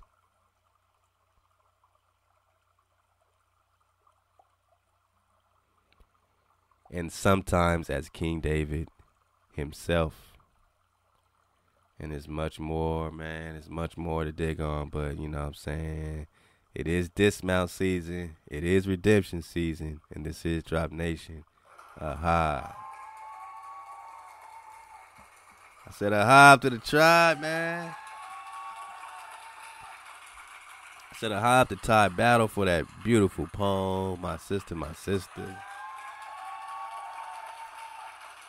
Said hi up to all the wave surfers across the plain, digging on this in real time, losing sleep, man, losing sleep. And just keep that a hop going for your breath of security, ha wah. Oh, it feels so good, man. I mean, don't you feel like an alien sometimes? You know, you feel so foreign because they you know, put you in a whole myth category. So when you dig on yourself, you feel like an ET. You feel like an alien. Like I don't belong. Love the B.O.B., man. Let's vibe out, man. I'm still here chilling with y'all. Let's vibe out, man. E.T., alien, let go, man. I'm with y'all. Let's rock. Extraterrestrial. Man, this is what Hawaii feel like, man. My bro Homicide in the chat room, man. Eyes of a Dragon said, man, this This 5 a.m. business. It's 5 a.m. man. It's 5 a.m. with my bros at man. He say this is nothing, man. This ain't nothing, man. This ain't nothing, man. The wave is stronger than time. The wave is stronger than time. That's all I gotta say about this, man. That's all I gotta say about that. Much hi to everyone surfing in the chat room tonight, man. KB, the family KB, family homicide, man. Aki, Armani, Gayi, Isaac Ford, man, surfing the wave tonight, man. Love to Sister Ty, Miss D, and the Copper Color Awakening, Sister Larissa, man. Man, we just had a great time surfing the wave in real time, man, and we couldn't do it at all without that aha, man. It's all about the frequency. It's all about the frequency. It's all about the frequency. Vibe out, man. I'm here for y'all. You here for me. We rock this together, man. It's all about that frequency, man. Let's vibe up. Let's continue to tribe up. Stay up. Suit up. Choose up. Drop nation. And I know, in all in all due respect to every race, niggas know black people don't crack. Like black Yeah, don't yeah, crack. Yeah, black don't crack. That was It rhymes. yeah. Shit. What's it inconsistent? Well, indigenous don't crack. Indigenous the don't- natives don't, crack. The natives don't you can crack. see a native and he could be 90 years old and still look like he's 50. I'm talking for the natives. Yeah. I like when When it, co- Walker- when it comes to uh, talking about African Americans, I have no education with that. Period. Mhm. I don't. I, I, I don't. I'm not even connecting to that no more because that's a system. That's Mm-hmm. like connecting. Say, hey, he's a bad guy. You don't hang with him. Oh, hey, I'm gonna find out for myself. I'm not African American at all. My, my folks is not from Africa, and a lot of people in this room, folks, ain't from Africa. Might be a couple, but people just don't understand. I asked my grandma, like, "Yo, grandma, what's your background?" She like, Redfoot and um, Blacktail Indian. What? Yeah, my mother and my father did. We 100 percent Indians. That's my other grandma. We got Cherokee in us, and European, and Italian, a little Dominican. Huh. It's crazy. I'm like, what the fuck? That's why I'm over Africa. Y'all, y'all look at me funny, like, nigga, I'm African. Like, I'm, I'm, you're not though. Like, you're you're, you're not. Eighty percent of slaves was already here. It was natives. It's crazy. Haiti, where you get that number from? Shit, I just checked the books. Which book? Yeah. My, I got a whole laptop full of this shit. Yeah. Yeah, just for me reading. It's not a solid book like, hey, it's uh-huh. only a thousand slaves came here. And nah, nigga, you gotta read. You have to literally read. Like, I'm so deep into it, I don't think about a slave ship. I think about what was a slave ship called? Jesus. What the fuck was a slave ship called that Christopher Columbus was on? Who funded that slave ship? Who paid for that boat? Uh-huh. Like, what was these folks' race? Like, what, what was their background? Mike, you want to like come? that. You want to come? So, Walker, that's interesting. 'cause, uh, Why? I'm just. It's like a why. It's not like I'm Yeah. chastising. It's like why. no, that's interesting because a lot- when it comes to you're addressing identity, right? So you're familiar with that boat, right? I'm uh I'm not familiar with the boat exactly that you're referencing, but I am. The slave boat, the first slave boat. Oh, that yeah, came yeah, the slave boat. Yeah, for All right, sure, So who for paid sure. for the slave boat? Um, that was from the the Europeans in terms of when What, they did what, the, the what was their colonization. ethnicity? What was their ethnicity? Uh, there was Germans. There was No. individuals What was their ethnicity that paid for that boat? That that that built that boat and that voiced that boat and who, Who are the gave people who built the boat, or who paid for the boat to be built? It's in the books. It's just Yeah. it's in the books. I'm not going to say shit because You I got. don't We got to specify which boat Yeah. and from the which boat part of the. Christopher Columbus was on. The boat that y'all Well, let's celebrated look it up. Columbus Day. Wasn't called that Jesus. It's called These Jesus of for both- Lubeck. Yeah, and who who the Spain the Spanish? King Henry. But we gonna get to it. I don't. We Okay. gonna get to it like that. Like, trust me, it's deep. It's deep, bro. But the question I have for you in regards to identity, then, um, some uh, blacks don't want to be called African Americans. Uh, some refer to call as black. So, with you saying you're not African American, you're more the indigenous. Your grandmother and your grandparents from the Native American tribes. Do you address yourself as Native American? Do you address yourself as black? Do you address I'm- yourself I'm as African others. American? I'm other. So you're other. I'm I'm uneducated. I'm uneducated. So for me to sit here like a college professor or professor, I'm wrong. I'm uneducated. I'm confused. You know what I'm saying? But I'm damn sure not black. You're not gonna call me black. My my, my grandmother's not Crayola. Like, So no, then, no, I'm connected to a tribe. I'm from a tribe, not a country. Mm-hmm. It's a big difference. Different laws, different everything. Like big difference.